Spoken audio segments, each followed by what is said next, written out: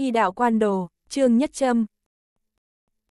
chương 1976, Quang Minh chính đại ba. Trương Dương lắc đầu nói, các anh tốt nhất đừng nhúng tay vào làm gì, đúng rồi, đại ca không tới à. Từ kiến cơ nói, xuất ngoại rồi, lúc này chắc đang uống hoa tử với con hát Nhật Bản rồi. Hồng Nguyệt lại đánh lên vai hắn một cái, sau đó thì rất ngọt ngào tựa lên vai hắn. Trương Dương nói, tôi muốn nghe ngóng một chuyện, các anh có quen với tạ khôn cử hay không? Từ kiến cơ nói, lão tổng tập đoàn Hán Đỉnh, tôi và hắn có quan hệ bình thường thôi, có điều đại ca rất thân với hắn, mẹ của tạ khôn cử là bà vú của Chu Hưng Dân, Chu Hưng Dân từ nhỏ đã lớn lên ở tạ gia. Cho nên quan hệ của Chu gia và tạ gia vô cùng thân cận, bằng không huynh đệ tạ gia cũng sẽ không có vị trí hôm nay. Từ kiến cơ từ vấn đề này của Trương Dương đã cảm thấy được sâu sắc người muốn đập quầy của Trương Dương ở quốc mậu 89 phần 10 chính là tạ khôn cử. Từ kiến cơ rất huyền chuyển nói rõ bối cảnh của tạ khôn cử, đồng thời nói với Trương Dương quan hệ của tạ khôn cử và đại ca Chu Hưng Quốc. Trương Dương nói, có chút thế lực.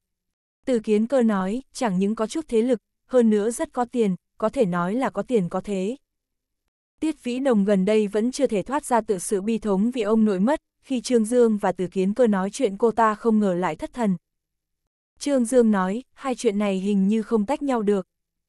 Từ Kiến Cơ nói, cũng không hẳn vậy, Hà Trường An sở dĩ gặp chuyện không may còn không phải là bởi vì căn cơ không đủ thâm hậu ư, kinh doanh trong nước, kiếm tiền dễ dàng, nhưng anh kiếm được tiền. Cuối cùng có thể thuộc về anh hay không thì cũng chưa thể biết được.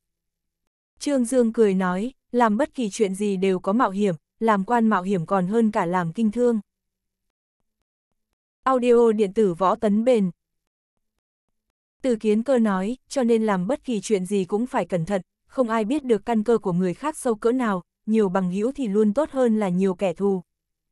Trương Dương nói, với cái tính này của tôi, bằng hữu không ít, kẻ địch cũng không ít, hiện tại muốn sửa cũng không còn kịp rồi. Tiết Vĩ Đồng lúc này phục hồi tinh thần, việc gì phải sửa, làm người nên chân thật, số dối trá như vậy có mệt hay không? Lúc này ông chủ hoàng thiện của hội quán Vương Phủ tiến vào chào hỏi, đối với đám con cháu cán bộ cao cấp này, hoàng thiện trước giờ đều rất khách khí, hắn mang đến một chai Louis, đi theo hắn tới còn có cả gái rót rượu. Tiết Vĩ Đồng nhìn nhìn bình rượu rồi nói, ông chủ hoàng, rượu này của anh là buôn lậu à? Hoàng thiện cười nói, tiết ra hảo nhãn lực, tuy rằng là rượu tư, nhưng tuyệt đối là hàng thật giá thật, trong những năm này làm ăn không dễ dàng gì, tôi thỉnh thoảng cũng lách luật chút, mấy vị ngàn vạn lần đừng tố cáo tôi đó. Hắn cũng chỉ nói đùa thôi, đương nhiên biết những người này sẽ không tố cáo hắn. Từ kiến cơ lắc thử chén rượu, nhìn nhìn độ tinh khiết của rượu, ngửi thì rồi nhấp một ngụm, không tồi, chính tông. Hoàng thiện nói, từ công tử từ công tử nói đúng thì là đúng rồi, lát nữa tôi để ngài mang một hộp về. Từ kiến cơ nói, vô công bất thụ lộc, tự dưng tôi lại nhận rượu của ông làm gì. Hoàng thiện nói, từ công tử từ công tử, tôi nghe nói khu đất của thành thể muốn bán đấu giá, có thể giới thiệu cho tôi một chút quan hệ không? Từ kiến cơ cười nói, anh sao lại tìm tôi? Bản thân tôi chỉ làm xây dựng, khu đất đó của thành thể nếu tôi có thể mua được thì mua rồi, tiện nghi lớn như vậy tôi sao lại nhường cho ông? Hoàng thiện cười nói, ai chẳng biết là ngài làm sinh ý lớn, khu đất đó của thành thể đối với chúng tôi mà nói thì là công trình lớn, nhưng đối với từ công tử ngài mà nói thì căn bản không đáng bận tâm. Những lời này của hắn tràn ngập thành phần nịnh nọt, có điều cũng không quá phóng đại. Từ kiến cơ cũng không phải cảm thấy khu đất đó quá nhỏ, mà là hắn gần đây rất ít làm công trình kinh thành, quan hệ của kinh thành rất phức tạp, thường thường đều là một công trình nhưng có vô số ánh mắt nhìn chằm chằm, làm tốt thì lợi nhuận cũng không được bao nhiêu, nhưng nếu nếu xảy ra vấn đề, không biết sẽ có bao nhiêu ở sau lưng anh đâm trộm, tinh lực chủ yếu của hắn hiện tại đều đặt ở thành thị tuyến 2, cạnh tranh tương đối mà nói thì không kịch liệt như ở kinh thành, hồi báo thì cũng không kém gì kinh thành. Từ kiến cơ nói, ông chủ hoàng, nể tình chúng ta quen biết nhiều năm, tôi khuyên ông một câu, làm tốt ngành giải trí của anh đi, khác nghề như cách núi, chén cơm khai phá xây dựng cũng không phải là dễ ăn đâu. Hoàng thiện nói, ai cũng muốn phát triển mà, nghề này của tôi tuy rằng kiếm được tiền, nhưng trong mắt người tôi giống như là bột khiếm thảo ấy, không ai coi tôi là người cả. Tiết Vĩ Đồng bật cười khanh khách, cô ta ngắt lời, anh chẳng phải là bột khiếm thảo ư. Hoàng thiện cười một tiếng, da mặt hắn cũng dày, không hề cảm thấy mất mặt tí nào, thật ra tôi cái tôi làm cũng là sinh ý, tôi thừa nhận quả thực có thể tồn tại một số mua bán mại dâm, có điều tôi không hề nhận một phân tiền nào từ đó cả. Trương đại quan nhân nghĩ thầm có trời mới tin, công phu nói dối của người làm ăn người này cao minh hơn người kia. Hoàng thiện nói, làm cái nghề này chính là số cháu chắt, cả ngày phải nhìn sắc mặt của người ta, phải dựa vào người khác để kiếm cơn, nói trắng ra thì cũng chẳng khác gì xin cơm. Từ kiến cơ nói, đừng nói mình thành đáng thương như vậy, hội sở của lại là chính là sàn nhảy, ngành giải trí của kinh thành cũng được tính là một chiêu bài vang dội, anh đừng có tìm lý do, là nổi lòng tham thôi, nhìn thấy ngành xây dựng náo nhiệt, cũng muốn nhảy phải cướp một chén canh. Hoàng thiện bị hắn nói toạc tâm tư, xấu hổ cười cười. Từ kiến cơ nói, tôi cũng không phải là phản đối anh làm nghề này, khu đất thành thể đó nóng bỏng tay, theo như tôi biết thì Triệu Nhu Đình của Vĩnh Cửu cũng đang nhắm vào khu đất đó, anh cảm thấy mình so với cô ta thì thế nào? Hoàng thiện nghe thấy tên của Triệu Nhu Đình thì lập tức ngây ra một lát rồi cười nói, cô ta nếu động tâm tư thì tôi cũng không uổng phí khí lực nữa, thiên kim của phó thị trưởng Triệu, tôi nào có bản sự mà tranh với cô ta. Từ kiến cơ nói, bối cảnh của anh khẳng định không so được với người ta rồi, nhưng tài lực của anh có thể đánh đồng với tập đoàn Hán Đỉnh không? Hoàng thiện nói, ngài đừng nói nữa, nói nữa thì tôi phải tìm một cái hố mà chui vào mất. Hắn kính rượu một vòng rồi cáo từ. Những lời nói vừa rồi của từ kiến cơ lại dẫn tới sự chú ý của Trương Dương, Trương Dương nói thành thể là cái gì? Từ kiến cơ cười nói, chính là sân vận động cũ của Kinh Thành, cũng không lớn lắm, có điều bởi vì vị trí rất tốt cho nên rất nhiều thương nhân khai phá đều nhắm chúng nó. Trương Dương nói, anh vừa rồi nói Triệu Nhu Đình cũng nhắm vào khu đất đó. Từ kiến cơ cầm chén rượu lên nhấp một ngụm, từ vẻ mặt của Trương Dương hắn đã đoán được thằng ôn này có chủ ý gì, cười nói anh muốn gì chương 1977, Quang Minh chính đại 4 Tiết Vĩ Đồng lúc này cũng phục hồi tinh thần lại, nói chuyện gì thế? Từ kiến cơ thở dài, cô bé, em sao như hồn lìa khỏi xác thế, sớm biết vậy thì không gọi em ra nữa. Tiết Vĩ Đồng nói, gần đây luôn bị phân tâm, có thể là em vẫn chưa thoát khỏi nỗi đau mất ông nội. Trương Dương cầm chén rượu lên nói, em gái, chuyện sinh lão bệnh tử ai cũng không tránh khỏi, có một số việc vẫn phải nhìn về phía trước, chỉ nghĩ tới quá khứ thì cũng không tốt cho em đâu. Tiết Vĩ Đồng nói, em biết rồi, sắp tới định ra ngoài giải sầu, di động của cô ta vang lên, cha của cô ta gọi điện thoại tới, gần đây Tiết Thế Luân vô cùng quan tâm tới con gái, Tiết Lão đi rồi, Tiết Thế Luân cũng càng cảm thấy gia đình quan trọng hơn, đối với con gái cũng trở nên quan tâm một cách trước giờ chưa từng có. Tiết Vĩ Đồng nói cha, cha có phiền hay không, con cũng không phải là trẻ con, hơn 20 năm trước cha không quản con, sao lúc này lại trở nên khó chịu như vậy. Trương Dương và Từ Kiến Cơ nghe cô ta nói như vậy thì bất giác nhìn nhau cười. Tiết Vĩ Đồng thầm oán vài câu, buông điện thoại rồi thở dài nói, cha em phiền quá, từ sau khi ông nội qua đời, ông ấy quản lý em cứ như là trẻ con vậy. Trương Dương cười nói, người làm cha có ai mà không thương con gái. Tiết Vĩ Đồng nói, đấy là ông ấy còn chưa hỏi tôi là tôi ở đâu, tôi mới không nói ông ấy. Còn chưa nói hết câu thì Tiết Thế Luân đã từ bên ngoài bước vào. Tiết Vĩ Đồng kinh ngạc mở to hai mắt, cha, cha sao lại tìm con? Tiết Thế Luân cười ha ha, nói cha không phải theo dõi con, cha tối nay vừa hay bàn chuyện làm ăn ở đây, nghe nói bọn con ở đây, cho nên mới gọi điện thoại cho con, cha đến tuổi gì rồi mà còn theo đuôi con. Mấy người đều bật cười.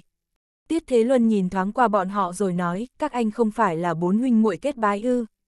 Sao lại thiếu một? Tiết Vĩ Đồng nói, anh Hưng Quốc tới Nhật Bản rồi. Trương Dương chủ động rót rượu cho Tiết Thế Luân, Tiết Thế Luân cầm chén rượu lên rồi nói, sao? Không ngờ không gọi phục vụ à? Từ kiến cơ cười nói, bọn con nói chuyện không muốn để người ngoài nghe thấy. Tiết Thế Luân cười ha ha, nói, xem ra cha quấy rầy bọn con rồi. Tiết Vĩ Đồng nói, cha khai thật ra đi, cha tới đây làm gì? Tiết Thế Luân cười nói, bàn chuyện làm ăn, các con có thể ở đây nói chuyện, chẳng lẽ cha không được à? Chẳng lẽ chỉ cho phép châu quan phóng hỏa mà không cho dân chúng đốt đèn ư? Y uống ngụm rượu rồi đứng dậy nói, tôi tới đây chỉ là để chào hỏi thôi, không quấy rầy các cậu nữa, Trương Dương, theo tôi ra đây chút, có vị bằng hữu muốn gặp cậu. Trương đại quan nhân nghe thấy y nói như vậy thì không khỏi hơi ngẩn ra, không biết là ai muốn gặp mình. Có điều Tiết Thế Luân đã mở miệng thì Trương Dương tất nhiên phải đi với y, hắn cười cười với Từ Kiến Cơ và Tiết Vĩ Đồng rồi đứng dậy đi theo Tiết Thế Luân. Đi tới ra ngoài cửa, Trương Dương nói, chú Tiết, rốt cuộc là ai muốn gặp tôi?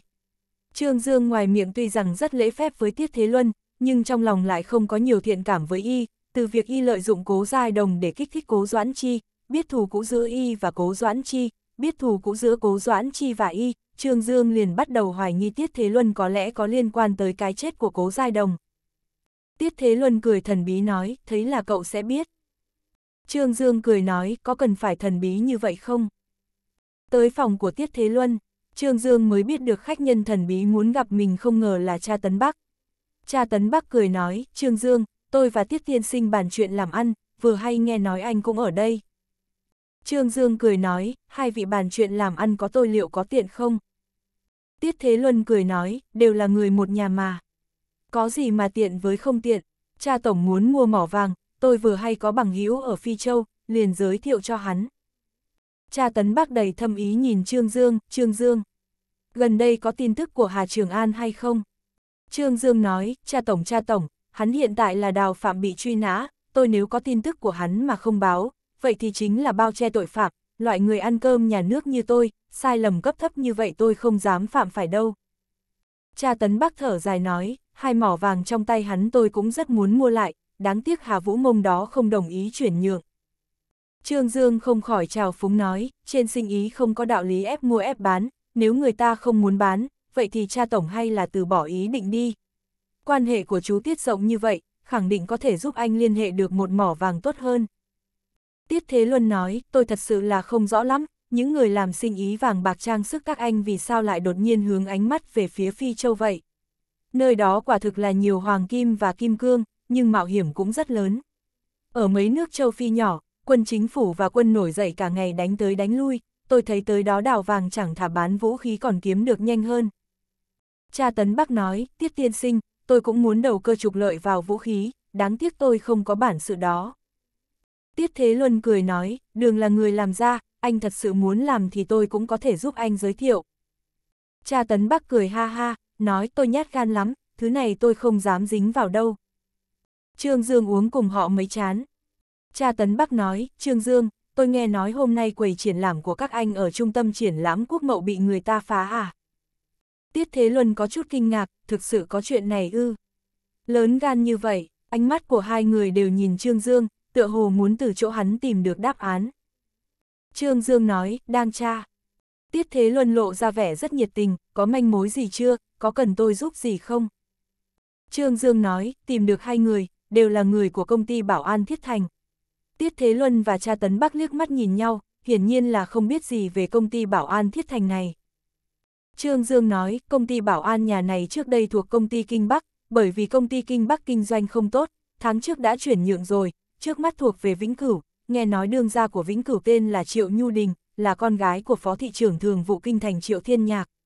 Trước khi gặp mặt Kiều Lão, Trương Đại Quan Nhân có lẽ sẽ không công khai ra chuyện này, nhưng mà sau khi nói chuyện với Kiều Lão, Trương Đại Quan Nhân trong lòng đã có tính toán, trong chuyện này, Kiều Lão khẳng định sẽ ủng hộ mình, hơn nữa Lão gia tử nói rõ đừng dùng âm mưu, người khác dùng âm mưu, chúng ta phải dùng dương mưu để phá, lần này cần lần này cần phong phong quang quang đường đường chính chính cho bọn họ một bài học, cho nên không sợ người ta biết, người biết càng nhiều càng tốt. Trương Dương ở trước mặt hai người nói ra chuyện này hiển nhiên là có dụng tâm, người nói hữu tâm, người nghe cố ý. Tiết Thế Luân từ trong đây đã nắm được gì đó, hắn nhìn như rất thoải mái cười cười, Trương Dương, con gái của Triệu Thiên Nhạc hình như đã gả cho tạ khôn cử của tập đoàn Hán Đình. chương 1978, Quang Minh Chính Đại Năm Trương Dương nói, vậy thì sao? Không ai có thể tùy tiện phá quầy của tôi cả. Tiết Thế Luân và cha Tấn Bắc đều là lão hồ ly gian xảo, cha Tấn Bắc nói, anh từng có khúc mắc gì với họ ư? Trương Dương lắc đầu nói, vốn không quen biết. Tiết Thế Luân nói, vốn không quen biết mà bọn họ lại vô duyên vô cớ đập quầy của anh ư. Y không tin không tin vào lý do của Trương Dương. Cha Tấn Bắc nói, tôi nghe nói tạ khôn thành vốn là sắp lên làm bí thư thị ủy thành phố Tân Hải, nhưng Kiều Trấn Lương đột nhiên giết, khiến hy vọng của hắn thất bại, tạ ra có thể bởi vì chuyện này mà sinh ra oán niệm với Kiều gia hay không? Tiết Thế Luân khinh thường nói, tạ ra ư, Kiều lão tuy rằng đã về hưu, nhưng sức ảnh hưởng của Kiều gia tạ ra có thể sánh bằng ư. Khi nói những lời này, Tiết Thế Luân không khỏi nhớ tới mình, tình cảnh Tiết Gia hô phong hoán vũ trong chính đàn đã một đi không trở lại nữa, bất kể là Kiều Gia hay là Tiết Gia hiện giờ đều phải đối diện với sự xấu hổ như vậy. Trên chính trị củi lửa lan truyền, đối với gia tộc chính trị điều này là cực kỳ trọng yếu, trong quá trình này, Chu gia có được sự nối tiếp rất tốt, Kiều gia thì trong quá trình này lại từ từ suy yếu, tổn thất lớn nhất lại là Tiết gia, từ sau khi cha qua đời, trong khoảng thời gian ngắn, Tiết gia tựa hồ đã trở thành dĩ vàng. Tiết Thế Luân cảm thán lòng người dễ thay đổi, đồng thời trong lòng cũng sinh ra một cỗ bất bình, đối với người như huynh đệ tạ khôn thành, hắn căn bản không để trong mắt. Trước đây đã khinh thường, hiện tại vẫn khinh thường, không phải Tiết Thế Luân y tâm cao khí ngạo, chính trị cũng chú ý huyết thống, cho dù y không phải là người trong thể chế, hiện tại sức ảnh hưởng cũng không thể so sánh với huynh đệ tạ ra, cho nên y mới có thể nói ra câu nói vừa rồi, ngoài mặt là bất bình cho kiều lão, nhưng trên thực tế cũng là biểu lộ suy nghĩ thực sự trong lòng y. Cha Tấn Bắc thì rất thân với huynh đệ tạ Khôn Thành, tạ Khôn Thành và anh trai y cha Tấn Nam là bằng hữu tốt, bình thường hai nhà kết giao không ít, cha Tấn Bắc nói, Trương Dương, tôi khuyên anh hay là bỏ chuyện này đi, oan ra nên giải không nên kết, huống chi, anh cũng không thể xác định chuyện này nhất định là tạ khôn cử làm chủ. Trương Dương nói, rốt cuộc nên làm như thế nào thì phải đợi tôi hỏi rõ đã rồi hãng nói. Trương Dương uống vài chén rượu với bọn họ rồi đứng dậy cáo từ, Tiết Thế Luân tự mình đứng dậy tiến hắn ra cửa, tôi ngoài cửa, Tiết Thế Luân nói, cha Tấn Bắc và huynh đệ tạ ra quan hệ không tồi, anh ở trước mặt hắn nhắc tới chuyện này, rất có thể sẽ truyền tới tai huynh đệ tạ ra. Trương Dương cười nói, truyền thì truyền, tôi mà phải sợ à. Tiết Thế Luân nói, chỗ dựa chân chính của huynh đệ tạ ra là Chu gia, chuyện này anh phải xử lý thận trọng. Trương Dương nói, thận trọng cũng không phải là là cháu người ta, chú Tiết nói đúng không? Tiết Thế Luân cười nói, anh đúng là có cái tính không sợ trời không sợ đất, tôi thích nhất là điểm này của anh, có chỗ nào cần tôi giúp thì cứ nói, chỉ cần tôi có thể giúp thì nhất định sẽ toàn lực tương trợ. Trương Dương tất nhiên sẽ không hoàn toàn tin vào những lời này của hắn, nhưng lời nói của Tiết Thế Luân khiến cho người ta nghe thấy mà thoải mái, Trương Dương cảm tạ. Sau khi hai người chia tay trước cửa, Tiết Thế Luân trở lại trong phòng, cha Tấn Bắc cười nói, Tiết Tổng nói riêng gì với hắn thế. Tiết Thế Luân thản nhiên cười cười, cầm chén rượu lên uống một ngụm rồi nói, Tấn Bắc, anh quá thông minh, cái gì cũng không qua được mắt anh. Cha Tấn Bắc nói, Tiết Tiên Sinh cho rằng tôi sẽ nói lại chuyện vừa rồi với tạ gia ư. Vẻ mặt của Tiết Thế Luân lộ ra vẻ thâm sâu khó dò. Cha Tấn Bắc cho rằng mình đã đoán trúng tâm tư của hắn, nói khẽ, đại ca của tôi quan hệ với tạ Khôn Thành, tôi và huynh đệ tạ ra thì lại không có giao tình quá sâu. Tiết Thế Luân cười nói, tôi thì không có liên quan gì với huynh đệ tạ ra, anh giải thích với tôi làm gì. Cha Tấn Bắc thở dài, tôi vừa rồi sở dĩ khuyên bảo hắn, là nể tình tôi và Trương Dương cũng là chỗ quen biết, không đành lòng nhìn thấy thằng ôn này càng lúc càng đi xa trên con đường sai lầm này. Tiết Thế Luân hỏi ngược lại, anh sao biết hắn sai? Cha Tấn Bắc nói, Tiết Tiên Sinh chắc biết quan hệ của Tạ Gia và Chu Gia. Tiết Thế Luân gật đầu, y đương nhiên biết, lúc trước Kiều Trấn Lương chiến thắng Tạ Khôn Thành, giành được chức bí thư thị ủy Tân Hải, thực sự là khiến y kinh thán một phen, y không ngờ Kiều Trấn Lương trong khoảng thời gian ngắn như vậy lại có thế hàm ngư phiên sinh, một lần nữa đi lên vị trí quyền lực trọng yếu như vậy, có điều về sau nghe nói một việc thì y mới minh bạch, Kiều Lão ở trong đây có một vị trí khá quan trọng, Tạ Khôn Thành xảy ra chuyện, là Kiều Lão ở trước mặt Chu Lão moi ra tật xấu của hắn. Điều này khiến Chu Lão không còn gì để nói, dọn sạch chướng ngại lớn nhất cho Kiều Trấn Lương đi lên vị trí bí thư thị ủy Tân Hải. Nhưng Tiết Thế Luân Thủy Trung cho rằng, Chu Lão tất nhiên là canh cánh trong lòng đối với chuyện này, trên ý nghĩa nào đó thì trong chuyện lần này ông ta bị lão bằng hữu Kiều Lão này tính kế, bị bước nên không thể không nhượng bộ, hy sinh lợi ích của tả khôn thành, quan hệ của những lão nhân này rất vi diệu và phức tạp, tuy rằng quan hệ cá nhân của bọn họ thoạt nhìn thì rất tốt, nhưng trên lợi ích chính trị, quan hệ của bọn họ lại cực kỳ vi diệu, rất nhiều lúc thậm chí biểu hiện ra sự một bước cũng không nhường. Cha Tấn Bắc lại nói, thật ra chuyện trung tâm triển lãm quốc mậu chắc không phải là nhằm vào Trương Dương. Kiều Mộng Viện là phó chủ nhiệm ban chiêu thương Tân Hải đương nhiệm, nghe nói triển lãm lần này là do cô ta phụ trách này trường phong ba này hẳn là có liên quan tới cô ta, tạ khôn thành không thể lên làm bí thư thị ủy Tân Hải, tạ khôn cử là huynh đệ nên chắc ôm lòng bất bình cho hắn. Tiết Thế Luân nói, tạ khôn cử làm việc sao lại không cẩn thận như vậy. Không ngờ lại bị Trương Dương nắm thóp, Tiết Thế Luân không hề cân nhắc tới nhân tố võ công, Trương Dương chỉ từ thương thế của cố dưỡng dưỡng và liễu đan thần cũng đã phán đoán được, võ công của đối phương thuộc môn phái nào, truy gốc truy nguồn liền tìm được hung phạm. Cha Tấn Bắc nói, Trương Dương này quả thực có chút bản sự, từ những lời nói vừa rồi của hắn cho thấy, hắn không sợ đắc tội với tạ gia. Tiết Thế Luân nói, có lẽ chuyện này Kiều Lão sẽ làm chỗ dựa cho hắn. Cha Tấn Bắc gật đầu nói, nếu thật sự là tạ khôn cử làm thì kiều lão sẽ không cứ để mặc cho qua đâu. Tiết Thế Luân mỉm cười nói, sắp có náo nhiệt rồi đây. Cha Tấn Bắc nói, chuyện này không liên quan gì tới chúng ta. Tiết Thế Luân ý vị thâm trường nói, ngày tháng càng lúc càng bình thản, châm ít thuốc nổ nghe cho vui tai chơi. chương 1979, có thù tất báo 1. Trương Đại Quan Nhân quyết định tham gia tranh thầu khu đất thành thể, hắn là người trong quan trường, tất nhiên không thể trực tiếp tham gia, nhưng cái hắn có là bằng hữu làm sinh ý. Trương Dương tìm tới Lương Thành Long, bảo Lương Thành Long đến Kinh Thành tham gia tranh thầu lần này. Lương Thành Long nghe hắn nói ong thì không khỏi cười khổ, Trương Dương, đang nói đùa với tôi à? Danh sách người tranh thầu đã ban bố xong rồi, đừng nói tôi không có tư cách, cho dù có tư cách thì tôi cũng không thể dính vào vũng nước đục này. Triệu Nhu Đình là ai chứ? Là khuê nữ của Triệu Thiên Nhạc đó, người ta lấy khu đất này căn bản chính là chuyện ván đã đóng thuyền, chúng ta dính vào làm gì? Trương Dương, chuyện vô ích chúng ta tốt nhất đừng có làm. Trương Đại Quan Nhân nói rất kiên quyết, Triệu Nhu Đình đắc tội với tôi, mục đích tôi tham gia tranh thầu là muốn trả thù, chuyện này tôi không tiện ra mặt. Lương Thành Long lộ ra vẻ do dự, Trương Dương, Triệu Nhu Đình có bối cảnh gì ở Kinh Thành, có câu cường long bất áp địa đầu xà, chúng ta lấy cái gì ra mà đấu cùng người ta, tôi thấy chuyện này không ổn đâu, hay là bỏ đi. Chuyện Lương Thành Long phải lo rất nhiều, hắn làm cái ngành xây dựng và khai phá này lâu lắm rồi, đối với lai lịch của vị lão tổng của Vĩnh Cửu Triệu Nhu Đình này hắn nắm rất rõ, Trương Dương ngang nhiên muốn trả thù như vậy.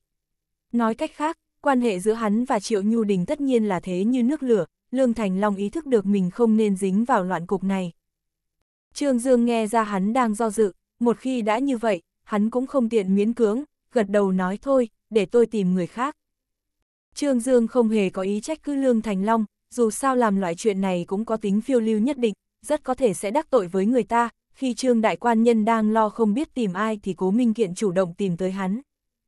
Cố Minh Kiện gần đây vẫn luôn ở Kinh Thành, vừa rồi nghe nói em gái ở triển lãm bị người ta đả thương, may mà không sao, mục đích Cố Minh Kiện đến tìm Trương Dương chính là muốn hỏi rõ chuyện này. Trương Dương đem tiền căn hậu quả của chuyện này nói lại một lần với hắn, Cố Minh Kiện sau khi nghe xong thì cũng lửa giận mút trời. Hắn căm giận nói, tôi giờ đi tìm tên họ tạ, đòi lại công đạo cho dưỡng dưỡng. Trương Dương nói, anh đi tìm hắn, hắn cũng chưa chắc đã chịu nhận, chuyện này tôi cũng không bỏ qua đâu. Cố Minh Kiện nói, anh tính thế nào? Bước đầu tiên của Trương Đại Quan Nhân chính là giành lấy khu đất thành thể đó, hung hăng áp chế nhuệ khí của Triệu Nhu Đình.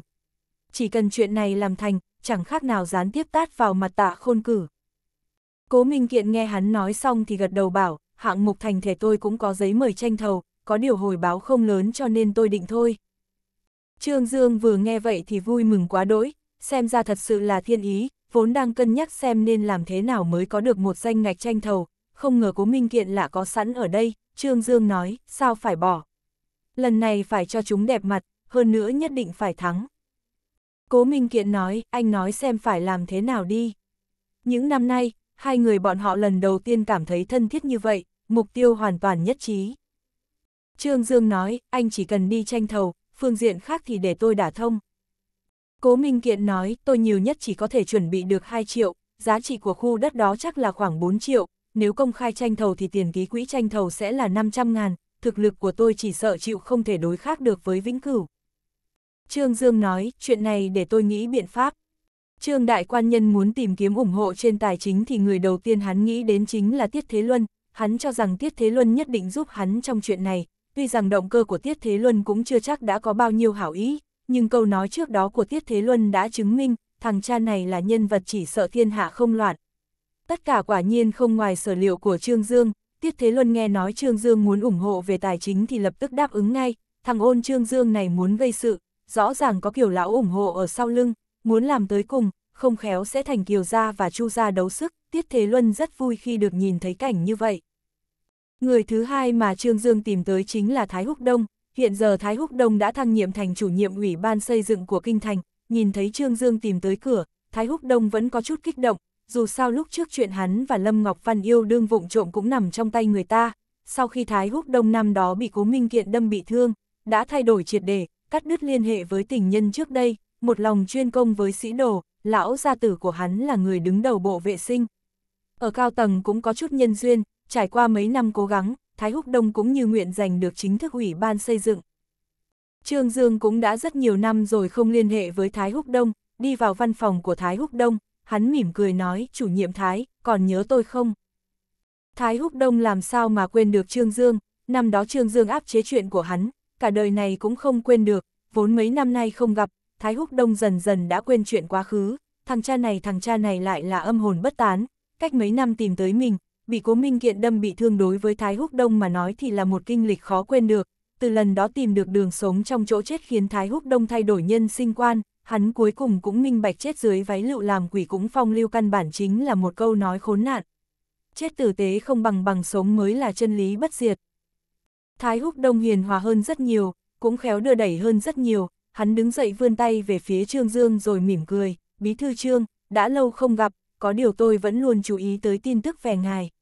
Cấp bậc của hắn so với Trương Dương thì hơn, nhưng Thái Húc Đông vẫn khách khí dùng tới chữ ngài, đây không phải là xuất phát từ sự kính trọng đối với Trương Dương, mà là do hắn kiêng kỵ Trương Dương. Trong mắt Trương Đại Quan Nhân, Thái Húc Đông sớm đã là thủ hạ bại tướng, là nhân vật bị mình thuần phục, ở trước mặt mình, thằng cha này căn bản không có bất kỳ địa vị gì cả. Trương Dương ngồi xuống sofa, thoải mái nhận lấy chén nước trà mà Thái Húc Đông đưa, chậm rãi nhấp một ngụm rồi nói, chủ nhiệm Thái thăng chức liên tục, thật sự là đáng mừng. Thái Húc Đông nói, vậy vậy thôi, làm nhiều năm như vậy cũng mới chỉ bỏ đi được cái chữ phó, sao bằng được chư hầu một phương như ngài. Trương Dương không nhịn được cười, nghe Thái Húc Đông nói như vậy hắn cũng thấy ngược, một cán bộ cấp ban huyện như hắn thì tính dám gì được là chư hầu một phương, Trương Dương cười nói tôi nếu là chư hầu một phương thì anh chính là công bộ thượng thư. Thái Húc Đông cười nói tiểu lại của công bộ, tiểu lại thôi chương 1980, có thù tất báo 2. Trương Đại Quan Nhân nói, anh cũng không phải là tiểu lại, hạng mục gì của kinh thành mà chả phải qua tay anh phê duyệt. Thái Húc Đông nói, Bí Thư Trương, ngài đây là đang phủng sát, tôi cũng không có quyền lực lớn như vậy, cấp trên của tôi còn nhiều lãnh đạo lắm.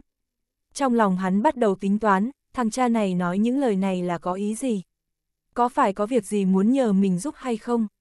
Trương Đại Quan Nhân không hề cho hắn quá nhiều thời gian để suy nghĩ, đi thẳng vào chủ đề, tôi nghe nói khu đất đó của thành thể rất hot. Thái Húc Đông ngây ra một thoáng, giờ mới hiểu được mục đích của Trương Dương, hắn gật đầu nói, không sai, quả thực rất hot, rất nhiều người đều đang nhắm vào khu đất đó, sao? Bí thư Trương cũng có hứng thú đối với khu đất đó ư. Trương Dương nói, bằng hiếu của y có hứng thú, anh cũng quen đến, cố minh kiện, năm đó hắn từng dùng dao đâm anh. Thái Húc Đông thật sự là dở khóc dở cười, thằng cha này căn bản chính là thích chơi người ta, anh nếu biết năm đó tôi thiếu chút nữa chết ở trong tay cố minh kiện mà hiện tại không ngờ còn có thể tới nhờ tôi giúp hắn, đúng là thô bỉ. Thái Húc Đông nói, chuyện trôi qua nhiều năm như vậy rồi, tôi cũng quên rồi. Trương Dương rất thích thái độ của Thái Húc Đông, hắn gật đầu nói, quên được là tốt rồi, chuyện không vui cứ để nó qua đi, cho dù không làm được bằng hữu thì cũng không thể làm cừu nhân, hiện tại hắn muốn giành được khu đất thành thể đó, anh có thể giúp gì hay không? Thái Húc Đông nói, Bí Thư Trương, chúng ta quen nhau lâu như vậy, chắc làm người của tôi anh cũng hiểu rõ, nguyên tắc làm người của tôi trước giờ đều là có một nói một, có hai nói hai, chuyện này tôi bất lực. Trương Đại Quan Nhân lập tức trợn tròn mắt, đằng đằng sát khí. Thái Húc Đông nhìn mà kinh hãi, hắn vội vàng giải thích, không phải tôi không muốn giúp anh, cái gì của tôi anh cũng biết rồi, khu đất đó đó công ty Vĩnh Cửu rất coi trọng, lão tổng của Vĩnh Cửu Triệu Nhu Đình là quyết ắt phải có, cha của cô ta là phó thị trưởng Triệu của chúng tôi, chồng của cô ta là lão tổng tập đoàn Hán đỉnh tạ khôn cử, ngài đừng nhìn đơn vị tranh thầu lần này rất nhiều, nhưng đều không có tính cạnh tranh gì cả, đây, khu đất này nhất định là sẽ thuộc về Triệu Nhu Đình, tôi thừa nhận. Trên tay tôi quả thực có chút quyền lực, cũng có thể ảnh hưởng tới một số người, nhưng tôi không thể đối nghịch với phó thị trưởng Triệu, cho dù tôi dám thì tôi cũng không có bản sự đó, ngài nói xem có đúng không? Trương Dương nói, cho dù khu đất này tôi không giành được thì cũng không thể để Triệu Nhu Đình giành được. Hành vi của vợ chồng tạ khôn cử đã triệt để chọc giận Trương Đại Quan Nhân, có thù không báo không phải là quân tử, lần này hắn nhất định phải cho bọn họ một bài học sâu sắc. Thái Húc Đông nghĩ thầm anh rốt cuộc có thù tới cỡ nào với Triệu Nhu Đình mà sao hận thành như vậy.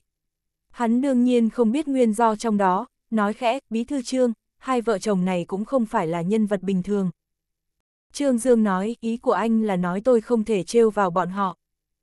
Thái Húc Đông vội vàng lắc đầu nói, tôi không có ý này, tôi chỉ là nói không đáng. Trương Dương nói, con người của tôi trước giờ đều là người không phạm tôi thì tôi không phạm người, bọn họ chọc tới đầu tôi trước, tôi phải khiến bọn họ không được yên, chủ nhiệm Thái, chúng ta cũng được cho là tâm đầu ý hợp chi giao nhỉ. Thái húc đông mắng thầm trong lòng, tâm đầu ý hợp cái thằng cha mày, anh là đang uy hiếp tôi, nếu không phải thóp của lão tử bị anh bắt được thì tôi việc gì phải ăn nói khép nép với anh như vậy. Anh chỉ là một cán bộ cấp ban huyện, tôi con mẹ nó phải khúm núm nịnh bợ anh ư. Trong lòng mắng có ác tới mấy thì ngoài mặt vẫn phải giả làm cháu, đây là sự bất đắc dĩ của nhân sinh, đây là sự bi ai của nhân tính.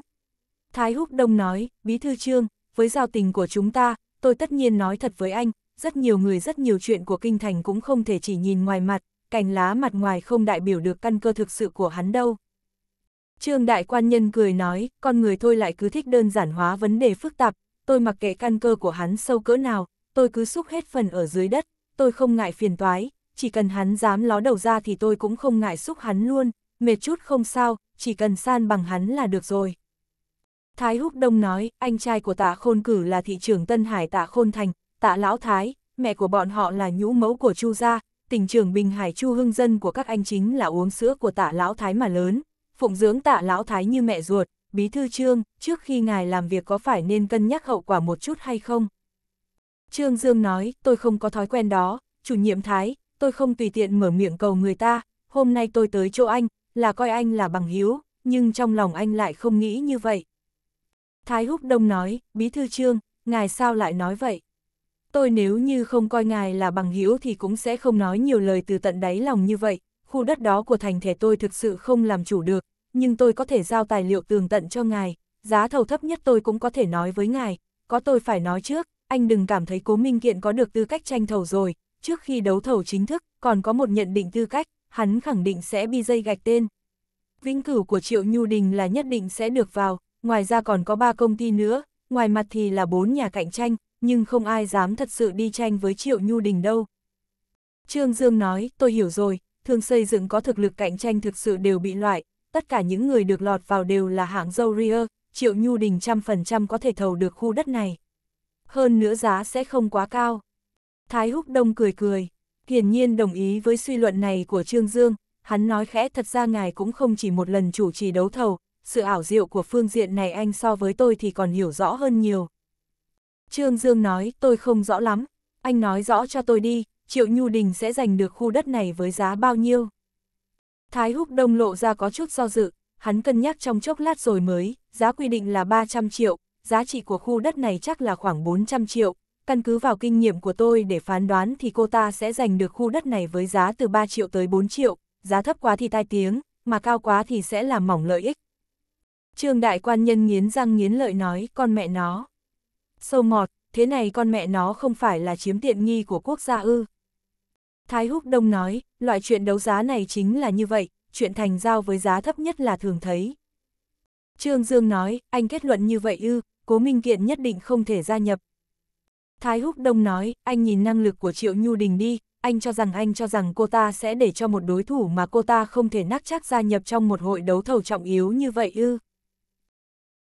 chương 1981, có thù tất báo 3 Trương Dương nói, chuyện thẩm tra tư cách tranh thầu cuối cùng là ai quyết định. Thái Húc Đông cắn cắn môi nói, tôi. Trương Đại Quan Nhân nói, nếu là anh thì chuyện dễ giải quyết rồi. Thái Húc Đông nói, tôi nếu làm như vậy thì chỉ sợ ta là chức chủ nhiệm ủy ban xây dựng này của tôi không làm được thêm mấy ngày nữa đâu. Trương Dương nói, anh nếu không làm như vậy thì chức chủ nhiệm ủy ban xây dựng của anh ngay cả ngày mai cũng không làm được tới. Thái Húc Đông phiền toái bất đắc dĩ nhìn Trương Dương, việc gì phải vậy, anh việc gì cứ phải nhất định chọc vào phiền toái này. Trương Dương nói, anh chỉ cần để cố minh kiện được gia nhập là tốt rồi, những chuyện khác không liên can tới anh, con người của tôi giảng đạo lý nhất, trước giờ đều không thích ép buộc. Thái Húc Đông ở trong lòng thì thầm ân cần thăm hỏi tổ tông của Trương Dương một phen. Nhưng hắn minh bạch, Trương Dương không phải đang bắn tiếng đe dọa, thằng cha này quả thực có bản sự đánh hắn rơi xuống phàm trần, sau khi cân nhắc lợi hại cuối cùng cuối cùng cũng gật đầu nói tôi đáp ứng anh. Nhưng tôi vẫn cảm thấy không cần thiết phải tranh ý khí như vậy, bất kỳ ai giành được khu đất này cũng chưa chắc đã thắng lợi. Trương Dương nói tôi nếu có thể giành được khu đất này. Anh cho rằng tôi không có bản sự giành được lợi ích ư. Trương Đại Quan Nhân bắt đầu chủ tính đường đường chính chính làm lớn một hồi với tạ gia, tạ khôn cử cơ hồ ngay lập tức nhận được tin tức, hắn đầu tiên là nghe nói Tống Ích sinh dã lọt vào tay Trương Dương, điều này khiến cho hắn cảm thấy có chút bực bội, với cảm thấy với bản lĩnh đám người Tống Ích sinh và Triệu Duyên Khánh, vốn không đến mức để lại manh mối như vậy chứ, Trương Dương sao lại tìm tới được công ty bảo an thiết thành.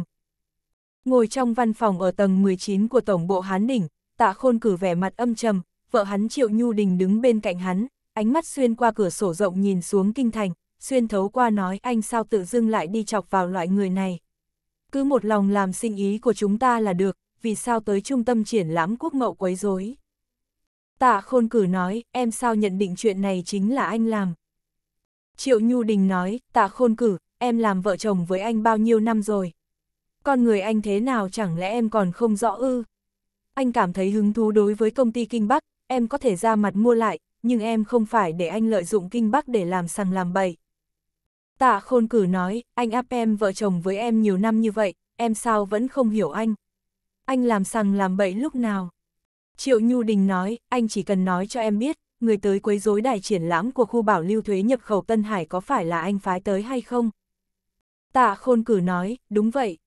Triệu Nhu Đình nói, anh là người trưởng thành rồi, anh biết pháp luật, loại chuyện này vạn nhất để người ta tóm được, vậy thì sẽ phải gánh vác trách nhiệm trước pháp luật. Tạ khôn cử cười một tiếng khinh thường nói, Nhu Đình, em sao làm ăn càng lúc càng cẩn thận thế? Đây không phải là làm ăn, anh cho rằng tôi anh cho rằng em không biết anh vì sao làm như vậy ư. Anh là bất bình vì chuyện của đại ca anh, muốn thông qua phương thức này để dằn mặt Kiều gia, khôn cử. Kiều gia là ai chứ? Anh cho rằng anh có thể chọc được người ta ư. Đừng nhìn Kiều lão về hưu rồi, nhưng sức ảnh hưởng của ông ta còn lớn lắm, anh nếu thực sự chọc giận ông ta, kết quả thế nào thì anh chẳng lẽ không cân nhắc một chút nào ư? Tạ khôn cử nói, ai rồi cũng có ngày già đi. Triệu Nhu Đình thở dài nói, anh cho rằng Chu lão gia tử sẽ lên tiếng giúp chúng ta ư. Nếu ông ta nguyện ý lên tiếng thì đại ca anh đã không thua Kiều Trấn Lương. Tạ khôn cử nói thôi, không nhắc tới chuyện này nữa, em cũng không cần phải quản, tất cả phiền toái mà chuyện này mang đến anh sẽ giải quyết. Triệu Nhu Đình rất tức giận vì những lời này của hắn, tạ khôn cử, anh nói cái gì thế? Chúng ta là vợ chồng, anh nói như vậy là đang phân rõ giới hạn với em, anh có không coi em là người nhà hay không? Tạ khôn cử nói, Nhu Đình, em đừng tức, chuyện này là do anh gây ra, có điều cho dù bọn họ tra gốc tra căn tới trên người anh thì họ có năng lực làm gì được anh chứ? Có gì phải sợ, đại ca của anh lần này bị thua, lão gia tử đã nhượng bộ rồi, kiều gia bọn họ đã được tiện nghi, chẳng lẽ chúng ta phát tiết một chút cũng cũng được ư? Anh không tin bọn họ có thể làm gì được anh, một lão già đã về hưu, có thời gian thì đi chơi đá đi, sao việc gì cũng muốn nhúng tay vào, còn không phải là giúp con trai của lão ư. Triệu Nhu Đình nói, tóm lại, anh về sau đừng làm loại chuyện này nữa, cho rằng mình làm thần không biết quỷ không hay, nhưng sao tên tiểu tử họ trương đó vẫn tìm tới được công ty bảo an thiết thành. Tạ khôn cử nói, thằng ôn này thì tính là gì? ỉ vào có chút bối cảnh rồi tự cao tự đại, có lúc rồi hắn sẽ phải khóc thôi. Triệu Nhu Đình nói, hắn là con nuôi của Phó Thủ tướng Văn đấy. Ha ha, con nuôi ư, vào cái thời buổi này, con trai ruột còn chưa chắc đã là của mình, huống chi là con nuôi. Khi tạ khôn cử nói những lời này vẫn không quên châm chọc Kiều Trấn Lương. Lúc này thư ký gọi điện thoại tới, nói là có khách quý đến. Người đến là chủ tịch cha tấn Bắc của tập đoàn Tinh Toản, cha Tấn Bắc và huynh đệ tạ ra quan hệ cũng không phải là bình thường như hắn nói với bên ngoài. Cha Tấn Bắc lần này tới đây là đặc biệt để lộ ra nội tình cho tạ khôn cử. Triệu Nhu Đình nhìn thấy cha Tấn Bắc tiến vào thì mỉm cười nói, anh Tấn Bắc tới à, hai người nói chuyện nhé, em ra ngoài có việc. Cha Tấn Bắc cười nói, em gái cứ làm việc của em đi. Triệu Nhu Đình đi rồi đi rồi tạ khôn cử mở tủ rượu vang, lấy ra một chai rồi rót hai ly, đưa cho cha Tấn Bắc một ly. Cha Tấn Bắc tiếp lấy rượu vang, ngửi ngửi rồi uống thử một ngụm, chậm rãi nói, khôn cử anh gần đây có phải nhàn rỗi quá hay không? Tạ khôn cử nghe ra ẩn ý của cha Tấn Bắc, hắn bưng rượu vang, tựa vào bàn làm việc bằng gỗ hoa lê của mình rồi mỉm cười nhìn cha Tấn Bắc nói, anh Tấn Bắc, giữa huynh đệ chúng ta có gì thì cứ nói rõ ra đi.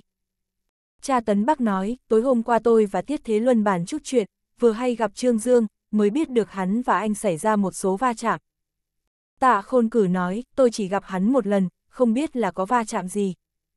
Cha Tấn Bắc nói, có thể là anh không biết, nhưng Trương Dương đã nhận định chuyện đài triển lãm của Tân Hải bị đập, nhân viên công tác bị đánh là do anh sắp đặt, hắn đã ngang ngược bắn tiếng, bắt anh phải gánh vác trách nhiệm vì chuyện này. Tạ khôn cử nói, đúng là khó hiểu, hắn là chó dại gặp ai cũng cắn à.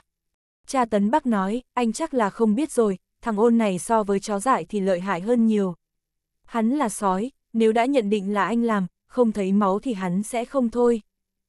Tạ khôn cử mỉm cười nói, anh Tấn Bắc, anh đến chỗ tôi là để dọa tôi à, tôi lăn lộn nhiều năm như vậy, ít nhiều cũng gặp một số sóng gió, anh cho rằng tôi sẽ bị một thằng nhóc dọa ư. Cha Tấn Bắc nói, biết hắn sao cha được tới trên người anh không? Tạ khôn cử cũng có chút khó hiểu chuyện này chuyện này, hắn lắc đầu nói, tôi cũng đang bực đây, sao hắn lại úp chuyện này lên đầu tôi? Cho tới bây giờ hắn vẫn cũng không thừa nhận chuyện này là mình làm, sự giảo hoạt của hắn từ đây cũng có thể thấy được đại khái. Cha Tấn Bắc nói, hai nữ hài tử bị thương một người là cố dưỡng dưỡng, con gái của tiền bí thư tỉnh ủy Bình Hải cố Doãn Chi, một người là ngôi sao đang lên liễu đan thần của viện kinh kịch, Trương Dương chỉ từ thương thế của bọn họ đã phán đoán ra môn phái võ công của người ra tay, hắn đan thương thất mã giết tới võ giáo đại thành, hiệu trưởng cắt hạc thanh của võ giáo đại thành là danh gia võ thuật, trường học có hơn 800 sư sinh, nhiều người như vậy cũng không thể làm hắn bị thương chút nào, hắn ngay cả một sợi tóc cũng không bị thương tổn rời khỏi võ giáo đại thành. Lại tới cảnh giáo kinh thành tìm Lý Thái Trung, cuối cùng tra được tới công ty bảo an thiết thành, cũng ở đó bắt được Tống Ích Sinh, hắn dùng bôn lôi quyền đả thương liễu đan thần, người đã bị nhận ra rồi, trước mắt bị cơ quan công an tạm giam, về phần Triệu Duyên Khánh thì chắc cũng không trốn được lâu đâu. Tạ khôn cử giờ mới biết Trương Dương thông qua phương thức nào để tìm tới hai người này, nếu tỏa định là họ, tìm tới công ty bảo an thiết thành thì cũng không có khó khăn gì, xem ra trên đời này quả nhiên không có bức tường nào là không lọt gió. Cha Tấn Bắc nói, khôn cử, tôi là huynh đệ của hắn cho nên mới đặc biệt tới đây một chuyến, anh nếu nguyện ý nghe nguyện ý nghe tôi thì tôi xin nói với anh vài câu, anh nếu không muốn nghe thì cứ coi như là tôi chưa nói gì. Cha Tấn Bắc đã nói đến nước này, tạ khôn cử nếu tiếp tục giả vờ vô tội thì không có ý nghĩa gì, hắn vội vàng giả bộ vẻ mặt áy náy, anh Tấn Bắc, tôi thừa nhận chuyện này quan tới tôi, nhưng tôi không hề sai họ làm như vậy, chỉ là một số lời của tôi bị người dưới hiểu sai. Cha Tấn Bắc nói, khôn cử, tôi chỉ nhắc nhở anh một câu, Trương Dương tuy rằng trẻ tuổi nhưng cũng rất khó đối phó, chuyện của trung tâm triển lãm quốc mậu tôi cho rằng không cao minh. Lão đệ, trước tiên chuẩn bị ứng đối mới là thượng sách. chương 1982, có thù tất báo 4. Tạ khôn cử nói, đa tạ anh Tấn Bắc đã quan tâm, tôi còn không đến mức ngay cả việc nhỏ này cũng không làm được. Sự tự tin của tạ khôn cử đến từ chính bối cảnh của bối cảnh, cho dù Trương Dương tìm tới Tống Ích Sinh, Tống Ích Sinh cũng không thể chỉ ra và xác nhận tới mình, dù sao loại chuyện này cũng không phải là là hắn tự ra mặt bố trí. Còn có một điểm là tới từ sự khinh thị của hắn đối với Trương Dương, trong mắt hắn, Trương Dương chỉ là con nuôi của Văn Quốc Quyền, với sự hiểu biết hắn, quan hệ của Trương Dương và Văn Gia cũng không thân thiết như bề ngoài. Người của Văn Gia thực sự tốt với Trương Dương tốt là Tuệ Ninh, nghe nói Văn Quốc Quyền nhận hắn làm con nuôi cũng là vì liên minh chính trị với bí thư tỉnh ủy Bình Hải Tống Hoài Minh, khi đó Trương Dương vẫn là con rể tương lai của Tống Hoài Minh, cái này gọi là trước khác nay khác. Hiện tại Trương Dương đã chia tay với Sở Yên Nhiên, không còn là đối tượng được Tống Hoài Minh chiếu cố nữa. Trong mắt Văn Quốc Quyền hắn cũng đã mất đi giá trị lúc trước. Tạ khôn cử không hồ đồ, hắn là một thương nhân, làm ăn nhiều năm như vậy, bí quyết thủy chung thành công chính là hắn trước khi làm việc đều có đánh giá toàn diện tất cả, hắn là người thận trọng, lần này cũng vậy. Có điều cẩn thận mấy cũng có sai sót, hắn không ngờ Trương Dương có thể thông qua thương thế để phán đoán môn phái của người hành hung, từ đó tìm tới họ. Tiến bước tra tấn Bắc bao lâu thì tạ khôn cử liền nhận được điện thoại của Chu Hưng Quốc, quan hệ của hắn và Chu Hưng Quốc cũng rất thân. Nguyên nhân Chu Hưng Quốc gọi cú điện thoại này là vì hắn nghe được phong phanh, tình cảm giữa Chu Hưng Quốc, Chu Hưng Dân và huynh đệ tạ ra nói là thân huynh đệ cũng không đủ. Chu Hưng Quốc sau khi biết được chuyện này lập tức gọi điện thoại cho tạ khôn cử, hắn không hy vọng giữa tạ khôn cử và Trương Dương phát sinh không vui. Tạ khôn cử nghe Chu Hưng Quốc nói xong thì bật cười, Hưng Quốc, anh yên tâm đi, trong lòng tôi hiểu cả, hắn là anh em kết nghĩa của anh thì tôi sẽ bảo trì khắc chế. Chu Hưng Quốc nói, anh khôn cử, các anh đều là bằng hữu của tôi, tôi cũng không muốn giữa các anh có tổn thương hòa khí. Tạ khôn cử nói, chuyện lần này tôi thực sự cũng có chút mạc danh kỳ diệu. Thật sự không nghĩ thông hắn vì sao muốn tính món nợ này lên đầu tôi. Chu Hưng Quốc nói, tính tình của Trương Dương là vậy đó, trẻ tuổi thịnh, nhiệt huyết sung động, lát nữa tôi sẽ nói chuyện với hắn. Gần đây công việc của tôi cũng bận quá, chờ xong việc rồi. Tôi sẽ dành thời gian hẹn hai người các anh cùng ngồi xuống nói chuyện. Tạ khôn cử nói, thanh giả tự thanh, không sợ không sợ người khác nói gì. Hưng Quốc, anh yên tâm đi, tôi tự có chừng mực. Chu Hưng Quốc lại không thể yên tâm đối với chuyện này, hắn sau đó lại gọi điện thoại cho Trương Dương. Trương Đại Quan Nhân đã dự kiến được Chu Hưng Quốc sẽ gọi điện thoại tới, ngoài miệng thì hắn nói không sao, bảo hắn yên tâm, bản thân tự có chừng mực. Sự thật chứng minh, hai người có chừng mực gặp nhau, thường thường sẽ làm ra chuyện không có chừng mực. Tạ khôn cử nếu có chừng mực thì hắn cũng đã không sai người đập đài triển lãm của Trương Dương, Trương Đại Quan Nhân nếu có chừng mực thì trong chuyện này có lẽ sẽ bảo trì bình tĩnh và khắc chế, nhưng bộ phận có thể khắc chế trong cơ thể Trương Đại Quan Nhân đã ít lại càng ít, nhất là khi hắn cho rằng mình đã chiếm hết đạo lý. Vào ngày bán đấu giá khối đất của thành thể, Trương Dương cùng Cố Minh Kiện tới hiện trường bán đấu giá. Tạ Khôn Cử và vợ Triệu Nhu Đình cũng tới hiện trường, bọn họ cũng nhìn thấy danh sách người tranh thầu, tuy rằng nhìn thấy tên của Cố Minh Kiện thì thoáng kinh ngạc một chút, có điều không hề chú ý, bởi vì bọn họ cho rằng khu đất này sẽ không xuất hiện bất kỳ sai sót gì, tranh thầu hôm nay chỉ là hình thức mà thôi. Chủ nhiệm ủy ban xây dựng Thái Húc Đông tự mình trình diện, vẻ mặt của hắn tuy rằng rất bình tĩnh nhưng trong lòng thì vô cùng phức tạp, hôm nay có náo nhiệt để xem rồi.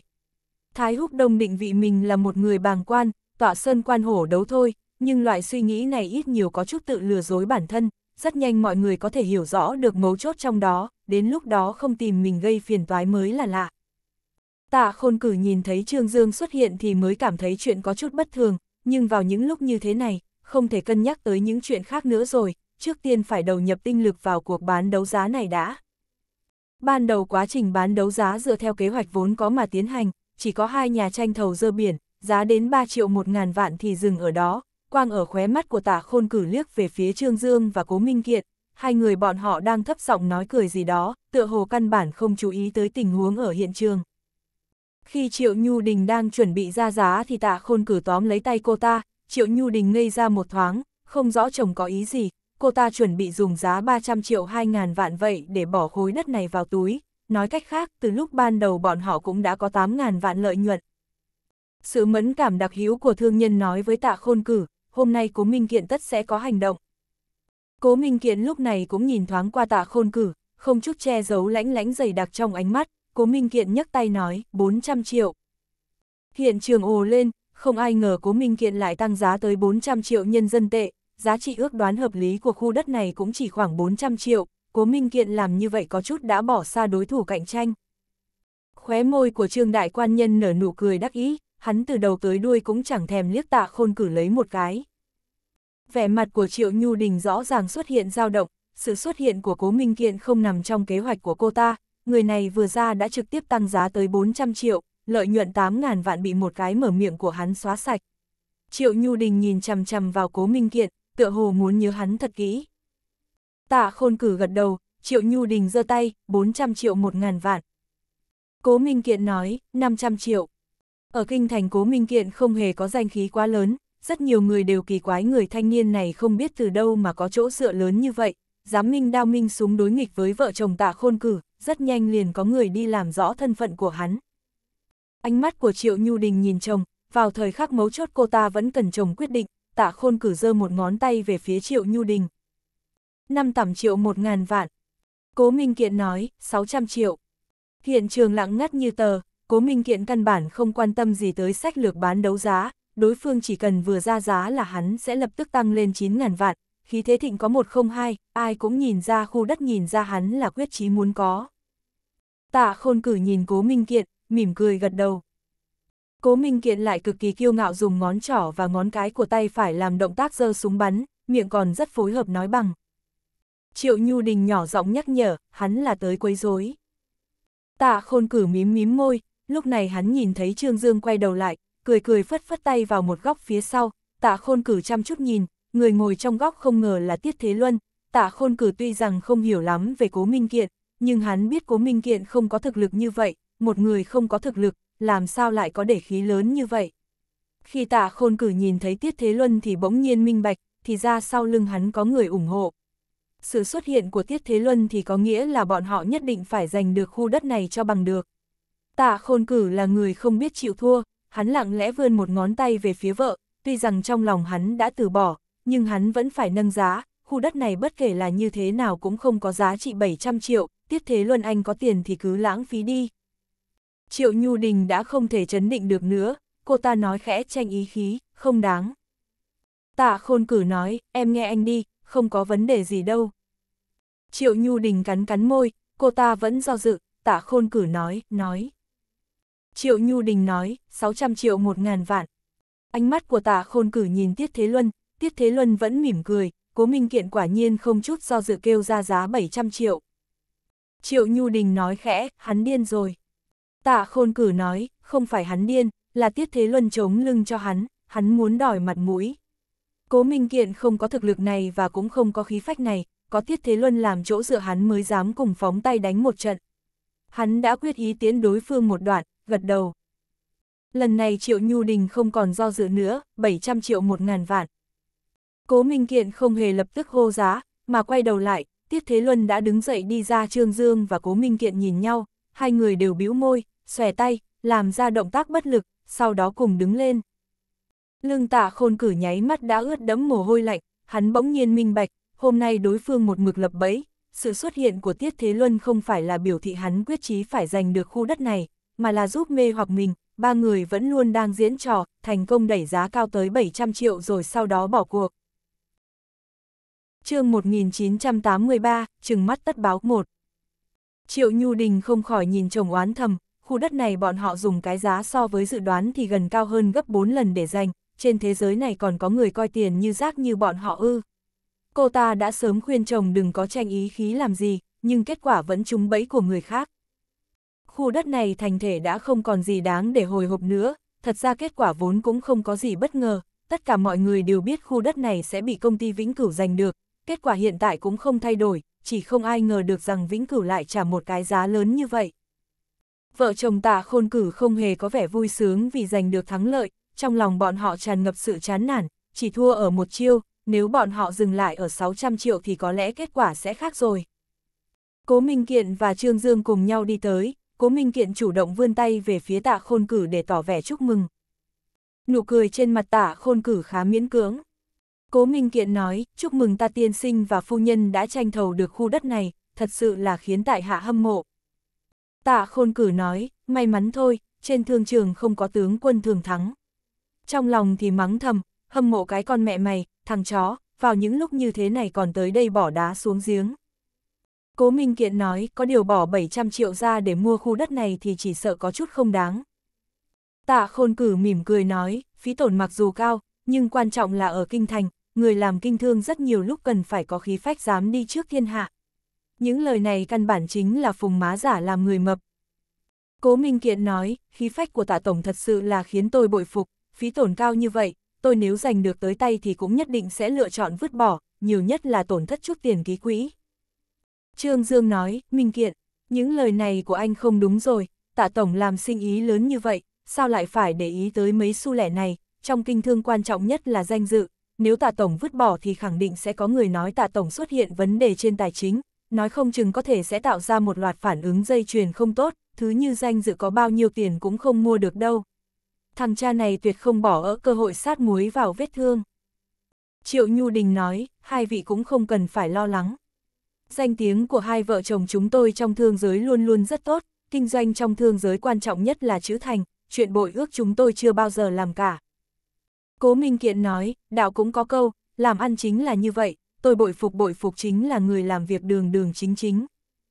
Trương Dương nói, tạ phu nhân tạo cho tôi cảm giác chính là quang minh lỗi lạc, nữ trung anh hào, tạ tổng đối với cô nhất định là rất tốt. Tạ khôn cử mỉm cười nói, tình cảm vợ chồng chúng tôi cũng tính là tương cứu trong lúc hoạn nạn. Cử án tề mi. Trương Dương nói, tạ tổng thật sự là một người tôn trọng nữ tính, tôi rất thích anh. Tôi ghét nhất chính là loại người khốn nạn thích bắt nạt đàn bà con gái.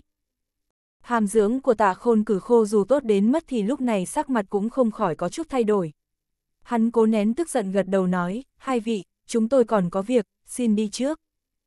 Cố Minh Kiện nói, Trương Dương, em gái tôi ở hội triển lãm bị người ta đánh, chuyện này không thể để yên.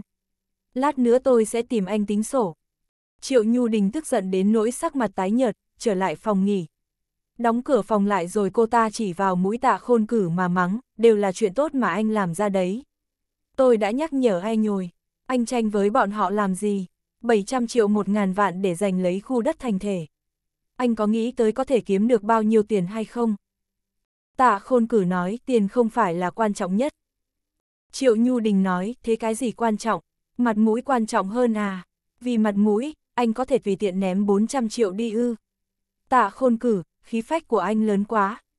Tạ khôn cử nói, chuyện đã phát triển đến nước này, em cãi nhau với anh thì cũng có ích lợi gì. Chúng ta có thể vứt bỏ. Tạ khôn cử nói, em không nghe hiểu ý tứ vừa rồi của bọn họ ư. Nếu chúng ta hiện tại vứt bỏ, bọn họ còn chưa biết sẽ nói chúng ta thế nào nữa. Triệu Nhu Đình nói, em mặc kệ, em vì sao tự dưng phải vứt đi 400 triệu. Thế giới này rất nhiều lúc đều không giảng đạo lý, tạ khôn cử không phải vì mặt mũi, cũng không phải là tranh ý khí, chuyện hôm nay là hắn kém người ta một chiêu, hắn bị đánh bại, bại rất thảm, nếu không phải Tiết Thế Luân xuất hiện, tạ khôn cử cũng sẽ không sai phỏng đoán sai tình thế, có lẽ lúc tới 600 triệu đã nên lựa chọn bọn cuộc rồi, hiện tại thì nói gì cũng đã muộn. Trương Đại Quan Nhân và Cố Minh Kiện ra bên ngoài, hai người đồng thời bật cười, hôm nay cuối cùng cũng chút được cục tức trong lòng, Cố Minh Kiện nói, tên khốn nạn đó cứ như là bị tát một phát vậy, sắc mặt cũng khó coi vãi trưởng. Trương Dương nói, 400 triệu, phí tổn ước chừng cao hơn 400 triệu, đây là tiền thật đó, ai gặp phải cũng đau lòng thôi. Cố Minh Kiện nói, vừa rồi tôi thực sự có chút lo lắng, vạn nhất khi hô 700 triệu, hắn không tiếp không tiếp thì chúng ta chẳng phải là tự chui vào bẫy của mình ư. Trương Dương cười nói, nếu Tiết Thế Luân không xuất hiện thì hắn 10 phần có 9 sẽ không tiếp chiêu, nhưng Tiết Thế Luân vừa ra mặt, hắn liền có suy nghĩ ngoan cố đấu với chúng ta, kết quả ăn trộm gà không được còn mất nắm gạo. Cố Minh Kiện cười ha ha, Trương Dương ngẩng đầu, nhìn thấy Tiết Thế Luân ở xa xa đang đứng trước chiếc Bentley màu đen hút xì gà, Trương Dương nói một tiếng với Cố Minh Kiện rồi chậm rãi đi đến chỗ Tiết Thế Luân. Cố Minh Kiện không muốn đối mặt với Tiết Thế Luân, hắn đã biết chuyện không vui của Tiết Thế Luân và cha, cho nên lựa chọn lảng tránh. Trương Dương tới trước mặt Tiết Thế Luân, Tiết Thế Luân nhìn thoáng qua Cố Minh Kiện ở xa xa rồi nói, tiểu tử của cố gia hôm nay biểu hiện không tồi. Trương Dương cười nói, ít nhiều cũng nhờ có 400 triệu của chú Tiết chống lưng. Tiết Thế Luân nói, ngân phiếu khống mà thôi, nếu cuối cùng là các anh giành được khu đất đó thì nói không chừng tôi sẽ đổi ý. Trương Dương nói, chú Tiết, chú ở trong lòng tôi chính là một lời nói đáng giá ngàn vàng. Tiết Thế Luân cười ha ha, nói, một lời nói đáng giá ngàn vàng cũng phải cân nhắc tới lợi hại. Hắn phả ra một làn khói rồi mỉm cười nói, hai vợ chồng của tạ khôn cử ra rồi kìa. Trương Dương thuận theo ánh mắt của hắn nhìn lại trước cửa, quả nhiên nhìn thấy vợ chồng tạ khôn cử mặt mũi sầm xì bước ra. Trương Dương cười nói, chú Tiết, lần này chúng ta liên thủ chơi hắn một vố, chú nói hắn liệu có hận cả chú và cháu không? Tiết Thế Luân nói, có liên quan gì tới tôi? Tôi chỉ là vừa hay xuất hiện ở đây, tôi có tham gia tranh thầu đâu. Hắn lại hút xì gà rồi nói, ỉ vào có chút quan hệ với Chu gia, không để ai vào mắt, đúng là ếch ngồi đáy giếng. Y nói với Trương Dương, cho dù hắn hận tôi thì hắn cũng không dám đối phó tôi, chỉ là cậu lần này khẳng định có phiền toái rồi. chương 1984, chừng mắt tất báo 2 Trương Dương nói, hắn nếu tiếp tiền thì có thể vứt bỏ khu đất đó. Tiết Thế Luân nói, vứt bỏ ư, tiền ký quỹ là bao nhiêu? 500 ngàn đấy, ha ha, hai vợ chồng bọn họ tính hết các nước, chỉ muốn nâng cao tiền ký quỹ để loại đối thủ cạnh tranh, lại không ngờ rằng lần này là cầm đá đập vào chân mình. Tạ khôn cử nhìn thấy Trương Dương và Tiết Thế Luân đứng chung một chỗ thì do dự một chút, cuối cùng vẫn đi về phía này. Tiết Thế Luân tươi cười, Trương Dương cười còn tươi hơn, sự khoái hoạt của hai người này là dựa trên cơ sở nỗi đau của người khác. Tạ khôn cử nhìn thấy bọn họ, do dự một chút về phía vẫn đi tới, từ xa đã cười nói, Thế Luân huynh, không ngờ hôm nay anh cũng tới đây cổ động. Tiết Thế Luân mỉm cười bắt tay với tạ khôn cử, tôi chỉ là tới đây để xem náo nhiệt thôi, hôm nay cũng không tính là đến không, đã được kiến thức sự quyết đoán của tạ tổng, bỏ nhiều tiền như vậy để giành lấy khu đất thành thể này, thật sự là khiến cho người ta bội phục. Trong lòng tạ khôn cử thầm ân cần thăm hỏi 18 đời tổ tông của Tiết Thế Luân, không phải thằng cha này tới đây vô giúp vui, lại giả thần giả quỷ với tên Trương Dương này thì mình sao lại trúng bẫy của bọn họ. Tiết Thế Luân nói, tôi còn có việc, các anh tán gẫu nhé. Hắn trốn cũng rất nhanh, ném tất cả chuyện lại cho Trương Dương. Trương Đại Quan Nhân vẫn cười rất vô tâm vô phế, tạ tổng, chúc mừng anh. Tạ khôn cử lạnh lùng nói, anh vừa rồi không phải là đã chúc mừng rồi ư.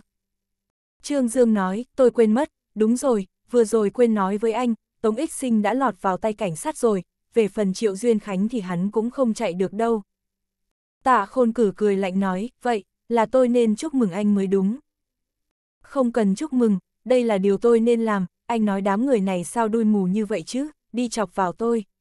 Không biết tôi có tiếng là có thù tất báo ư. Trương đại quan nhân nói xong thì xoay người đi vào ô tô. Tạ khôn cử nhìn theo hắn, mí mắt phải không khỏi giật giật. Hắn đã sớm được từng nghe nói tới sự cuồng vọng của Trương Dương, hôm nay mới xem như chân chính lĩnh giáo, người trẻ tuổi kiêu ngạo như vậy hắn vẫn là lần đầu nhìn thấy, có thù tất báo ư. Hắn sai người đập quầy của Trương Dương, thằng ôn này chẳng những tra tới gốc tới ngọn tới người mình, hơn nữa lập tức làm ra phản kích, nếu so sánh thì tổn thất của mình lớn hơn, hiện tại không biết là ai nên trả thù ai. Tiết Thế Luân ngồi bên trong xe Bentley, rất thích ý tựa vào ghế sau, lái xe chậm rãi khởi động ô tô, sau khi rời khỏi bãi đỗ xe thì một giọng nữ trầm thấp nói anh không ngờ lại ra mặt vì hắn. Tiết Thế Luân nói, có gì không đúng ư? Vì tiểu tử này mà đắc tội với tạ khôn cử thì có đáng không? Tiết Thế Luân cười nói, em là nói anh không nên không thể trêu vào tạ khôn cử. Anh hiểu ý của em. Tiết Thế Luân lại rút ra một điếu xì gà, lấy ra bật lửa Zippo rồi châm lửa, sau đó nheo mắt lại, nhìn hình ảnh khói và ánh sáng đan vào nhau, nói khẽ tạ khôn cử không dám tìm anh gây chuyện, chuyện này hắn nhất định rất hận Trương Dương. Vốn nếu anh không giúp hắn thì tạ khôn cử chưa chắc đã dính phải vố đau như vậy, ha ha. Sau khi Trương Dương cười một tiếng rồi nói, anh muốn hắn chịu thiệt, muốn thù của Trương Dương và hắn càng kết càng sâu. Thằng ôn Trương Dương này thật sự là không biết trời cao đất rộng, tạ khôn cử có bối cảnh gì mà hắn cũng dám trêu chọc. Tiết Thế Luân nói, em cho rằng hắn chỉ là vì xung động ư, đừng khinh thường thằng ôn này, tạ khôn cử không cừu không oán với hắn, vì sao lại mà đập quầy hàng của hắn. Mục tiêu của tạ khôn cử là Kiều Mộng Viện, hắn là muốn phát tiết hận thù cá nhân, Kiều Trấn Lương đoạt đi vị trí của đại ca hắn, hắn muốn chút giận cho tạ khôn thành, nhưng những người hắn phái đi thật sự là rất không ra gì, Trương Dương tuy rằng xung động, nhưng đầu óc của hắn rất tốt, dám ở ở kinh thành gióng chống khua chiêng làm như vậy, em cho rằng sau lưng hắn không có ai ủng hộ ư. Anh là nói văn gia. Tiết Thế Luân cười ha ha, nói em không ngờ lại nghĩ đến văn gia, văn quốc quyền tuy rằng lợi hại, nhưng hắn vẫn không đến mức muốn đắc tội với chu lão. Chuyện trong quan trường của các anh thật sự rất phức tạp. Nghe thấy câu này, ánh mắt của lại đột nhiên ảm đạm rồi, một lát sau mới chậm rãi nói, anh chỉ là một thương nhân mà thôi. Muốn ở kinh thành rộng lớn tìm một người cũng không dễ dàng, nhưng nếu ở trong phạm vi nhất định, muốn tìm ra một người cũng không khó, Triệu Duyên Khánh là bị sử anh hào của bát quái môn bắt được, vốn dựa theo quy củ giang hồ, bát quái môn sẽ không nhúng tay vào chuyện của quy dương môn, nhưng Triệu Duyên Khánh đánh bị thương cố dưỡng dưỡng, cố dưỡng dưỡng là đệ tử quan môn của Tào Tam Pháo, Tào Tam Pháo tuy rằng đã chết, nhưng ông ta là tâm đầu ý hợp chi giao với trưởng môn bát quái môn Sử Thương Hải. Ai khi dễ đồ đệ của vị lão hữu này, Sử Thương Hải đương nhiên sẽ không buông tha.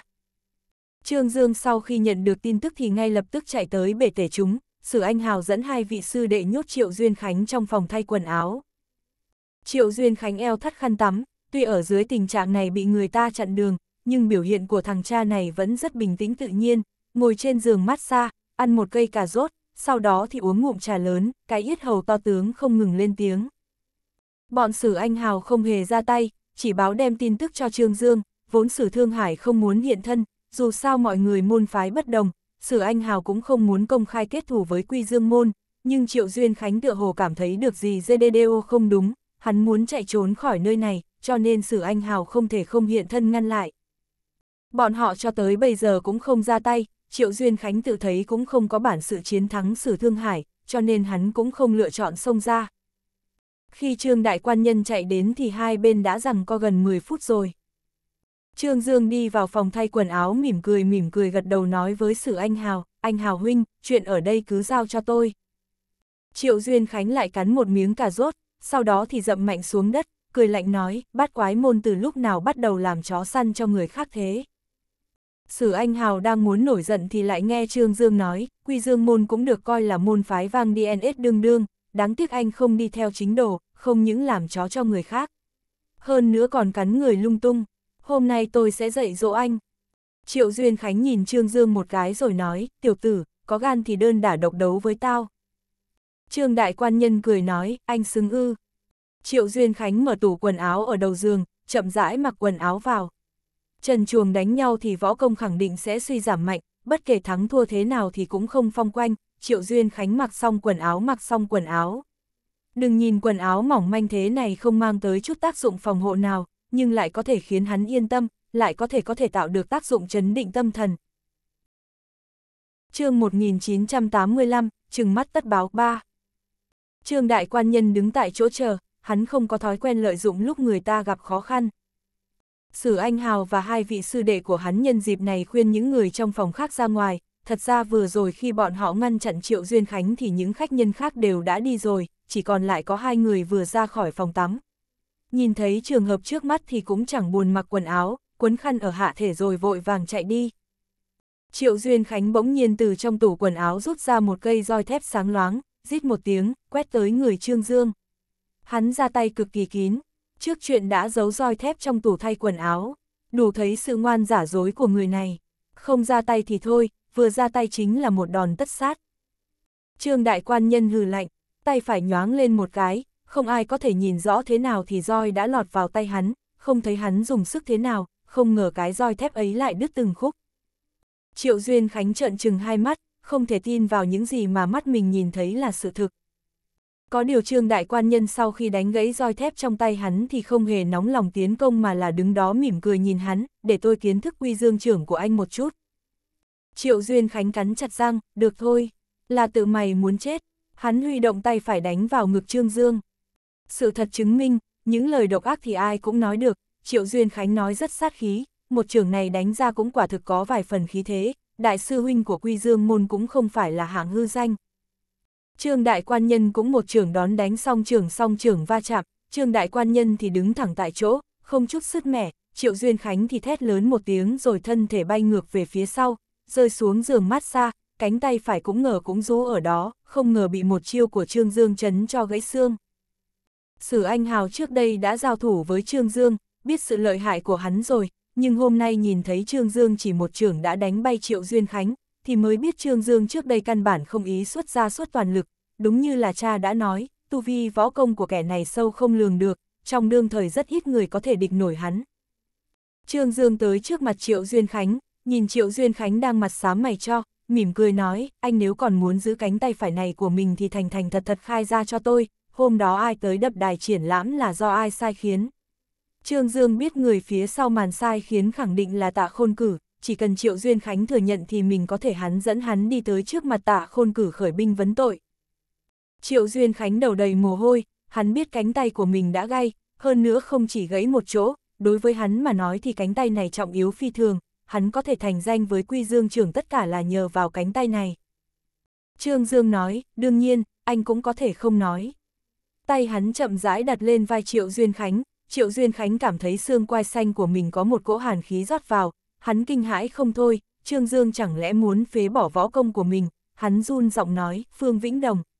Hắn, hắn hắn phó tổng của công ty Vĩnh Cửu.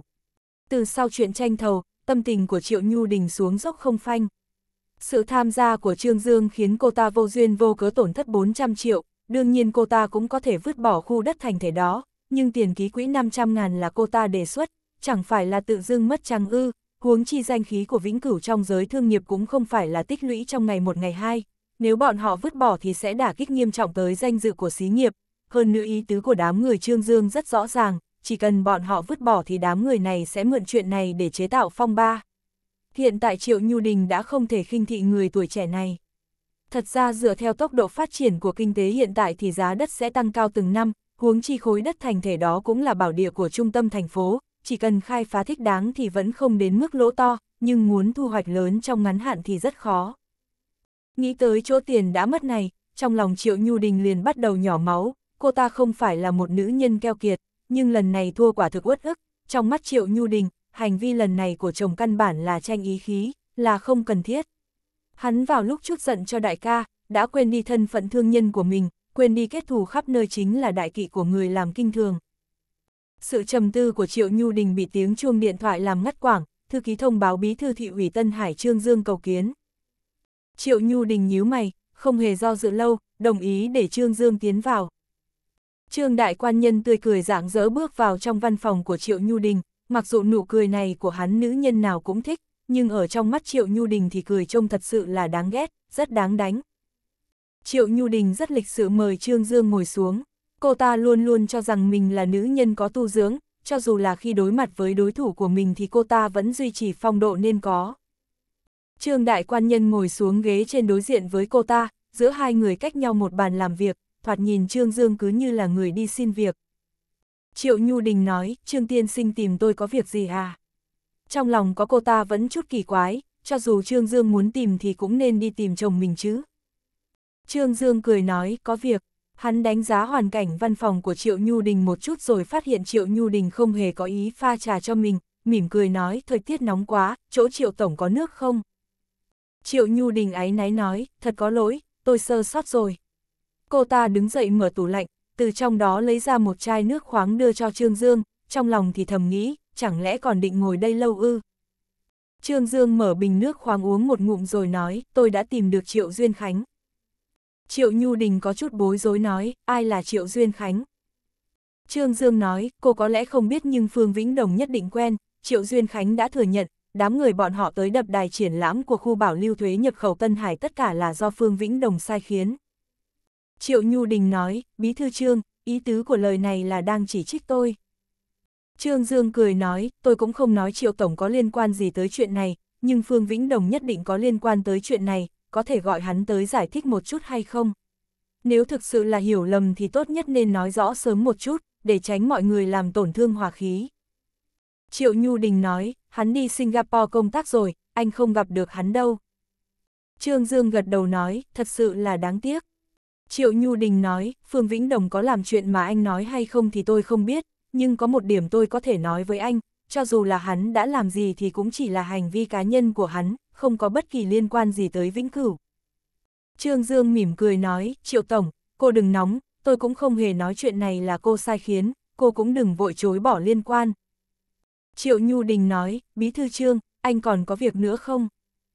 Trương Dương lắc đầu, không có việc gì cả, tôi đi đây. Hắn tuy rằng nói như vậy nhưng không hề lập tức đứng dậy mà lại uống một ngụm nước rồi nói, nếu chuyện này thực sự là Phương Vĩnh Đồng làm, vậy tính của người này thật sự là quá kém, muốn đối phó tôi thì cứ minh đả minh lai, vì sao lại sai người đi đánh bị thương hai cô gái. Triệu Nhu Đình không kiên nhẫn nhìn nhìn đồng hồ treo tường rồi nói, xin lỗi, tôi 10 giờ còn có một cuộc họp. Trương Dương cười cười đứng dậy, vậy không làm mất thời gian của cô nữa. Hắn đứng dậy vươn tay về phía Triệu Nhu Đình, chủ động bắt tay chào cô ta. Triệu Nhu Đình không muốn bắt tay hắn, nhưng cô ta cuối cùng vẫn không cự tuyệt Trương Dương, Trương Dương cầm tay cô ta, vẻ mặt thoáng có chút khác thường. Triệu Nhu Đình rất nhạy bén nắm được sự biến hóa của hắn, bí thư Trương còn có chuyện gì ư? Trương Dương lúc này mới buông tay cô ta ra cười nói, không có gì. Tạ khôn cử khi tới tổng bộ Vĩnh Cửu thì vừa hay nhìn thấy Trương Dương từ trong tòa nhà đi ra, hắn ngây ra một thoáng, không hề nóng lòng xuống xe mà là chờ Trương Dương lên xe đi rồi mới mở cửa xe bước xuống.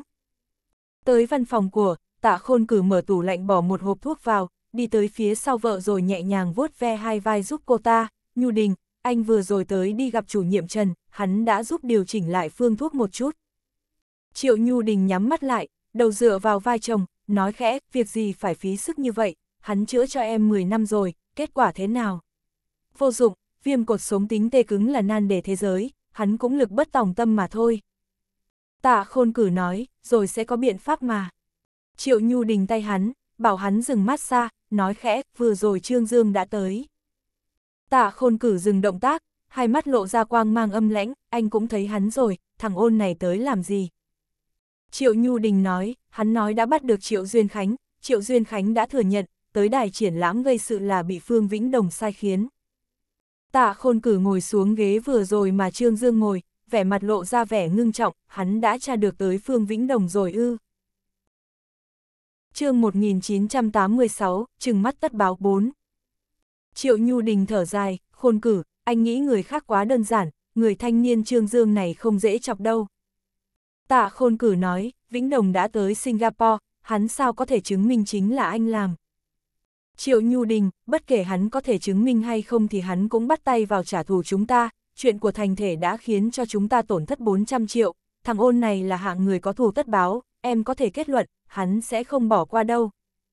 Tạ khôn cử nói, có thù tất bảo thì sao? Anh sợ hắn trả thù chắc. Triệu Nhu Đình nói, chuyện anh cho người đạp đài triển lãm của khu bảo lưu thuế nhập khẩu Tân Hải là không cao minh, nếu chuyện này làm một cách thần không biết quỷ không hay thì cũng không sao, nhưng lại để lại ở hiện trường nhiều manh mối như vậy, người ta đã điều tra rõ chuyện, anh nghĩ xem, nếu Kiều Gia biết, mục đích của chuyện này là muốn dằn mặt họ, Kiều Gia sẽ bỏ qua ư. Trương Dương dám làm như thế, nói không chừng đã được Kiều Gia ngầm đồng ý, bằng không hắn cũng sẽ không có gan như vậy. Tạ khôn cử nói, em không cần lo, chuyện này anh sẽ giải quyết. Triệu Nhu Đình nói, theo ý em thì đừng đấu tiếp nữa, chỉ cần hương dân ra mặt nói một tiếng thì thằng ôn này chắc hẳn cũng không dám làm quá đáng. Tạ khôn cử không nói gì, nhìn chằm chằm ra ngoài cửa sổ, trong lòng đã ý thức được, mình đã xem nhẹ năng lực của Trương Dương. Đài triển lãm của khu bảo lưu thuế nhập khẩu Tân Hải đã khôi phục bình thường, ủy hội cũng đặc biệt tăng mạnh biện pháp an toàn cho bên này, sau khi Liễu Đan Thần nghỉ ngơi một ngày thì lại tới sân khấu diễn xuất miễn phí cho phía Tân Hải, mang tới tác dụng hấp dẫn ánh mắt, có thể nói đài triển lãm của khu bảo lưu thuế nhập khẩu đã trở thành một trong những điểm nóng của hội kinh mậu. Hai ngày nay Trương Dương đều bận rộn đi đòi lại công đạo, chuyện của hội triển lãm cũng giao cho Kiều Mộng Việt, Thường Hải Thiên đã về Tân Hải trước, dù sao khu bảo lưu thuế nhập khẩu cũng có một đống chuyện chờ hắn về giải quyết. Khi Trương Dương tới trước đài triển lãm thì Kiều Mộng Viện đang bận rộn nói chuyện hợp tác với khách thương, từ xa cười cười với hắn, lúc này bận tới nỗi ngay cả thời gian nói chuyện với hắn cũng không có. Trương Đại Quan Nhân đi bộ đến trước sân khấu, bên này cũng chật như nêm cối, liễu đan thần mặc cung phục hoa lệ, đang hát một khúc quý phi say rượu trên sân khấu, nhận được âm thanh ủng hộ như thủy triều. Trương Dương cũng đứng trước sân khấu, mỉm cười thưởng thức liễu đan thần biểu diễn. Liễu đan thần rất nhanh liền phát hiện Trương Dương đứng trong đám người, sóng mắt lưu chuyển, càng lộ ra vẻ quyến rũ vô cùng, giọng hát giống như chim hoàng oanh xuất cốc, mềm mại huyền chuyển, rung động đến tâm can. Trương đại quan nhân nghe mà mê mẩn, cũng vỗ tay ủng hộ cùng mọi người, thậm chí không phát hiện La Tuệ Ninh đặc biệt tới cổ động.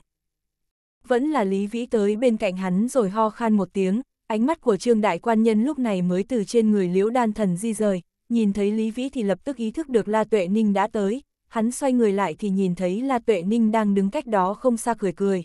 Bên cạnh bà ta còn có một cô gái nước ngoài tóc vàng mắt xanh, chính là vợ chưa cưới của Văn Hạo Nam, phóng viên Sophia. Hôm nay cô ta một là đặc biệt đi với mẹ chồng tương lai, hai là mượn cơ hội này để thu hoạch một số tư liệu sống. Trương Dương vội vàng chạy tới, mẹ nuôi, sao mẹ lại tới đây? La Tuệ Ninh nói, con làm triển lãm ở Kinh Thành, mẹ là mẹ nuôi thì đương nhiên là phải tới ủng hộ rồi, cô ta xoay người giới thiệu cho hắn hai nam tử phía sau, hai người này tất cả đều là nhân vật phong vân trong thương giới kinh thành, Kiều Mộng Viện cũng đã bàn việc xong, vội vàng chạy tới. La Tuệ Ninh và Kiều Mộng Viện hàn huyên vài câu rồi giới thiệu Sophia bên cạnh với bọn họ. Trương Dương cười nói, tôi nên gọi là chị dâu. Sophia cười nói, tôi và Hạo Nam vẫn chưa đính hôn, anh cứ gọi tên của tôi là được rồi, tôi hôm nay là đặc biệt tới đây để phỏng vấn. Trương Dương nhiệt tình nói, hoan nghênh. Sophia nói, không ngại cho tôi đi thăm chung quanh một chút chứ. Kiều Mộng Viện cười nói, Sophia tiểu thư cứ tùy tiện. Trương Dương bảo Kiều Mộng Viện tiếp đón khác, hắn thì cùng La Tuệ Ninh đi quanh đài triển lãm. La Tuệ Ninh nói, em nghe nói hai ngày trước bên này xảy ra chuyện hả? Trương Dương cười nói, cũng không có chuyện lớn gì, chỉ là mấy tên vô lại tới gây sự, hiện tại đã giải quyết rồi. La Tuệ Ninh nói, không đơn giản như vậy chứ, bà ta đã tìm hiểu gần hết câu chuyện. Trương Dương nói, mẹ nuôi, mẹ biết rồi à. La Tuệ Ninh thở dài nói, cái tính này của con phải sửa, có một số chuyện làm căng quá cũng không có lợi gì cho con. Trương Dương nói, con không muốn gây sự, nhưng có một số người làm việc thật sự là rất quá đáng. La Tuệ Ninh nói khẽ, cha nuôi của con và thị trưởng tạ có quan hệ cá nhân không tồi. Bà ta rất huyền chuyển làm sáng tỏ tầng quan hệ này, hiển nhiên không muốn Trương Dương tiếp tục làm lớn. Trương Dương nói, mẹ nuôi, mẹ nói vậy, thì chứng tỏ tên tạ khôn cử đó rất không có suy nghĩ, bản thân đã biết rõ quan hệ của chúng ta mà còn sai người tới phá đài triển lãm của con. La Tuệ Ninh nghe ra sự phẫn uất và không phục trong lời nói của hắn, nhẹ giọng thở dài, chuyện này nếu như quả thật là hắn thì là hắn không đúng, công đạo này mẹ nhất định sẽ bảo cha nuôi của con đòi lại giúp con. Bà ta tạm dừng một chút rồi lại nói, chuyện không phải là đơn giản như con nghĩ đâu, mẹ biết trong lòng con rất tức giận, nhưng trăm ngàn lần đừng xung động, bị người khác lợi dụng thì không tốt đâu. Những lời này của La Tuệ Ninh đã cho thấy đầy đủ rằng bà ta đã nhìn ra chỗ mấu chốt trong đó, thậm chí đã đoán được sự cường thế của Trương Dương lần này 10 phần có 9 là có liên quan tới Kiều Lão ở sau lưng ủng hộ. Những lời này khiến Trương Dương có chút không vui, tuy rằng hắn biết La Tuệ Ninh cũng không có ác ý, nhưng chuyện này không phải là Kiều Lão muốn lợi dụng hắn, mà là hắn nhờ Kiều Lão giúp, Trương Dương không nói gì, bởi vì hắn cũng không biết nên giải thích với La Tuệ Ninh như thế nào. La Tuệ Ninh nói, nghe mẹ đi, chuyện này bỏ đi, chuyện của thành thể đó mẹ cũng biết rồi, hai vợ chồng tạ khôn cử ăn phải quả đắng rồi, con cũng hả giận rồi. Trương Dương lắc đầu nói, bọn họ hình như còn nợ con một lời xin lỗi. La Tuệ Ninh nhíu mày, thằng ôn này trước giờ luôn không hiểu được thế nào là tìm chỗ khoan dung và độ lượng, đang muốn khuyên Trương Dương một câu thì di động của Trương Dương đổ chuông.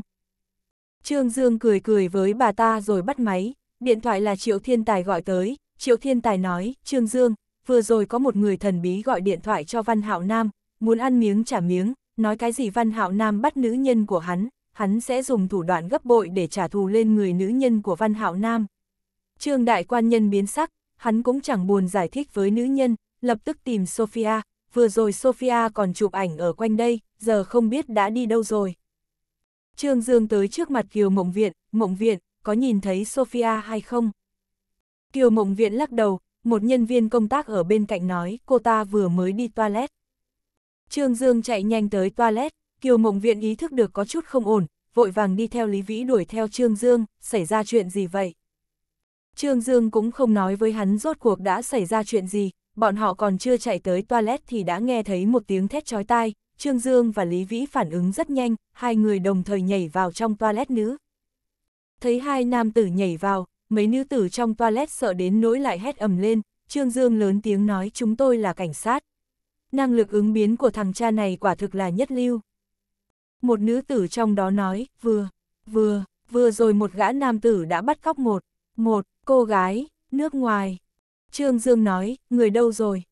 Cô gái đó chỉ ra ngoài, Trương Dương và Lý Vĩ quay người chạy ra ngoài, nhưng ở đó đâu có thấy bóng dáng của Sophia. La Tuệ Ninh lúc này cũng tới trước mặt bọn họ, sau khi hỏi rõ chuyện xảy ra thì vội vàng lấy điện thoại ra bấm số di động của Sophia, di động ở trạng thái tắt máy, La Tuệ Ninh xưa nay rất chấn định cũng không khỏi khẩn trương, rốt cuộc đã xảy ra chuyện gì? Rốt cuộc là ai đã bắt cóc Sophia? Lý Vi an ủi bà ta, phu nhân, bà đừng lo lắng, chỉ mất liên lạc thôi, hiện tại cũng không thể kết luận Sophia tiểu thư bị người ta bắt cóc. La Tuệ Ninh nhìn về phía Trương Dương, trong ánh mắt tràn ngập vẻ mê hoặc, Trương Dương, vừa rồi là ai gọi điện thoại cho con? Con sao biết Sophia bị người ta bắt cóc? Trương Dương nói, con cũng không biết. Hắn tất nhiên không thể nói chuyện mình nghe trộm điện thoại của Văn Hạo Nam cho La Tuệ Ninh được, né tránh ánh mắt của La Tuệ Ninh rồi nói, việc cấp bách bây giờ lại phải lập tức tìm được Sophia. Lúc này di động của La Tuệ Ninh đổ chuông, người gọi điện thoại tới là Văn Hạo Nam, giọng nói của giọng nói lộ ra vẻ lo lắng, mẹ, mẹ có thể liên hệ với Sophia không? Con gọi cho cô ấy mãi mà toàn tắt máy. La Tuệ Ninh nói, cô ta và mẹ cùng nhau tới tham gia triển lãm. Bà ta do dự không biết có nên nói chuyện Sophia đột nhiên mất tích với con trai hay không. Văn Hạo Nam nói, mẹ, mẹ đưa điện thoại cho cô ấy đi. La Tuệ Ninh không đáp lại. Mẹ, Văn Hạo Nam đã mẫn cảm thấy được chuyện có chút không ổn, mẹ, mẹ làm sao vậy? Rốt cuộc đã xảy ra chuyện gì? La Tuệ Ninh bất lực nhìn Trương Dương, Trương Dương bảo bà ta đưa điện thoại cho mình, đi sang bên cạnh rồi nói, Hạo Nam, Sophia đột nhiên mất tích rồi. Văn Hạo Nam lớn tiếng nói, sao lại như vậy? Cô ta có phải bị người ta bắt cóc hay không? Cậu nói cho tôi biết đi, cô ta có sao không? chương 1987, bại lộ 1 Văn Hạo Nam giận dữ hết, lại là mày. Vì sao lại là mày? Trương Dương nói, anh bình tĩnh một chút, hiện tại tôi đang giúp anh. Anh phải nói cho tôi biết tất cả mọi chuyện. Mẹ tao và Sophia vì sao lại ở cùng với mày? Có phải mày mời họ tới tham gia triển lãm chó má gì đó? Có phải mày muốn mượn sức ảnh hưởng của mẹ tao không? Văn ra bọn tao rốt cuộc đã nợ mày cái gì? Trương đại quan nhân tức giận đến nỗi thiếu chút nữa thì ném điện thoại, rồi mặc kệ tất cả, bản thân hắn cũng biết là Tuệ Ninh và Sophia muốn tới tham gia triển lãm. Trương Dương nói, Hạo Nam, anh có thể tỉnh táo lại rồi nghe tôi nói không? Rốt cuộc đã xảy ra chuyện gì? Tôi đảm bảo, tôi nhất định sẽ giúp anh hết sức. Văn Hạo Nam nói, Phan Cường gọi điện thoại tới uy hiếp tôi, hắn nói muốn ăn miếng trả miếng, muốn tôi phải nếm thử tư vị của sự thống khổ. La Tuệ Ninh vỗ nhẹ lên vài trương dương, ra hiệu cho hắn đưa điện thoại lại cho mình, nói khẽ, Hạo Nam, con yên tâm, mẹ cam đoan với con là Sophia sẽ không sao. Văn Hạo Nam tắt máy, lúc này trong lòng hắn rất loạn, không lâu sau di động của hắn lại đổ chuông, Văn Hạo Nam cầm điện thoại, một giọng nói âm trầm vang lên, Văn Hạo Nam, nữ nhân của anh ở trong tay tôi. Văn Hạo Nam đứng lên, chậm rãi đi tới phía trước cửa sổ, Phan Cường. Tôi, tôi cảnh cáo anh, nếu Sophia phải chịu một chút tổn hại nào thì tôi cho dù phải xuống đất cũng sẽ tìm ra anh. Phan Cường bật cười ha ha. Văn Hạo Nam ngay sau đó liền nghe thấy một tiếng tát tai rất vang và một tiếng rên đau đớn của con gái. Phan Cường nói, Văn Hạo Nam, anh đối với phán đoán thế cục hình như có sai lầm rồi, giờ vẫn không dỡ quyền chủ động hiện tại nằm trong tay ai ư, ai mới là người được ra lệnh ở đây nhỉ? Văn Hạo Nam nói, anh thả cô ta ra, đi tự thú, tôi sẽ giúp anh cầu tình với quan tòa. Phan Cường lạnh lùng nói, đừng giả vờ làm nhà từ thiện, thu hồi sự cao ngạo và cuồng vọng của anh đi, đám thái tử đảng các anh ở trong mắt tôi thì chẳng tính là gì cả. Cô em ngoại quốc này không tồi, xem ra anh rất yêu cô ta, tôi nói ngắn gọn nhé, nữ nhân của tôi không sao thì nữ nhân của anh cũng sẽ không sao, nữ nhân của nữ nhân thiếu một sợi tóc thì tôi sẽ cắt một miếng thịt trên người nữ nhân của anh, tôi cho anh thời gian một ngày, thả Đinh Lâm ra, cô ta không liên quan gì tới tất cả những chuyện này, Phùng Kính Quốc là tôi, không liên quan tới bất kỳ ai cả. Tôi dựa vào gì mà phải tin anh? Phan Cường nói, 24 tiếng đồng hồ, anh thả nữ nhân của tôi ra một cách bình an, tôi không có nhiều kiên nhẫn đâu, vượt qua thời gian này thì tôi rất khó cam đoan có thể trả nữ nhân người Pháp này lại nguyên vẹn cho anh. Điện thoại được ngắt, Văn Hạo Nam nghe thấy tiếng tút tút trong điện thoại, qua một lúc lâu mới trở về trong hiện thực, Phan Cường trốn khỏi Bắc Cảng, quả nhiên đã để lại hậu hoạn, không ngờ hắn bí quá hóa liều, tới kinh thành bắt cóc Sophia, Văn Hạo Nam đi qua đi lại trong văn phòng, mục đích của Phan Cường chỉ có một, đó chính là muốn Đinh Lâm được thả. Văn Hạo Nam cầm điện thoại trên bàn ấy số, sau đó thì lại gác máy, hắn không thể cứ vậy nhận thua, Phan Cường cho rằng bắt cóc Sophia thì có thể dắt mũi mình, nhưng hắn nghĩ quá đơn giản rồi. Cho dù thân ở trong nhà giam, Đinh Lâm vẫn biểu hiện ra sự bình tĩnh, cho dù là Văn Hạo Nam cũng tỏ vẻ thưởng thức đối với tố chất tâm lý siêu cường của cô ta. Đinh Lâm nói, những gì tôi biết thì đã nói cả rồi, anh không cần phải phí sức nữa. Văn Hạo Nam cười cười, ngồi xuống đối diện cô ta, hai tay đặt trên bàn rồi nhìn Đinh Lâm, cô hiểu lầm rồi, tôi lần này đến không phải là để thẩm vấn cô mà là. Hắn tạm dừng một chút rồi mới, tôi chuẩn bị thả cô. Tôi có nghe nhầm không, hay là anh tự dưng nổi thiện tâm? Đinh Lâm bình tĩnh hỏi. Phan Cường đã bắt cóc bạn gái của tôi. Khi Văn Hạo Nam nói những lời này, không hề che giấu sự phẫn nộ trong lòng. Đinh Lâm hắn, anh sẽ hắn sẽ gây thương hại cho nữ nhân của anh cho nên anh chuẩn bị thả tôi. Tôi còn tưởng rằng anh là là người thiết diện vô tư, quân pháp bất vị thân, không ngờ anh cũng biết quan tâm tới người khác. Văn Hạo Nam nói, tôi sẽ thả cô, nhưng không phải bây giờ. Tôi muốn cô anh theo tôi tới Kinh Thành một chuyến. Khi Phan Cường gọi cú điện thoại thứ hai thì Văn Hạo Nam đã dẫn Ninh Lâm đang trên đường tới Kinh Thành. Ý thức được Văn Hạo Nam không hề làm theo sự phân phó của mình, Phan Cường phẫn nộ gầm rú, Văn Hạo Nam, anh anh có phải tưởng tôi đang nói đùa với anh hay không? Anh có phải muốn lấy tính mạng nữ nhân của mình ra đánh cuộc không? Vậy anh cứ thử xem, tôi hiện tại sẽ cắt tai của cô ta ra gửi cho anh trước. Hiện tại Văn Hạo Nam đã triệt để bình tĩnh rồi, hắn bình tĩnh nói, Phan Cường, anh nêu như làm gì với Sophia thì tôi sẽ làm chuyện đồng dạng trên người nữ nhân của anh. Phan Cường tức giận nói, anh là cảnh sát. Văn Hạo Nam nói, tôi có thể lựa chọn tùy thời là làm cảnh sát, mà anh thì không có lựa chọn. Dọa tôi à? Văn Hạo Nam nói, không phải tôi dọa anh, tôi chỉ muốn nói cho anh biết một sự thật, tôi cũng không để người khác uy hiếp đâu. Hắn nghe thấy giọng nói của Sophia, Hạo Nam, cứu em. Tim của Văn Hạo Nam bất giác thắt lại.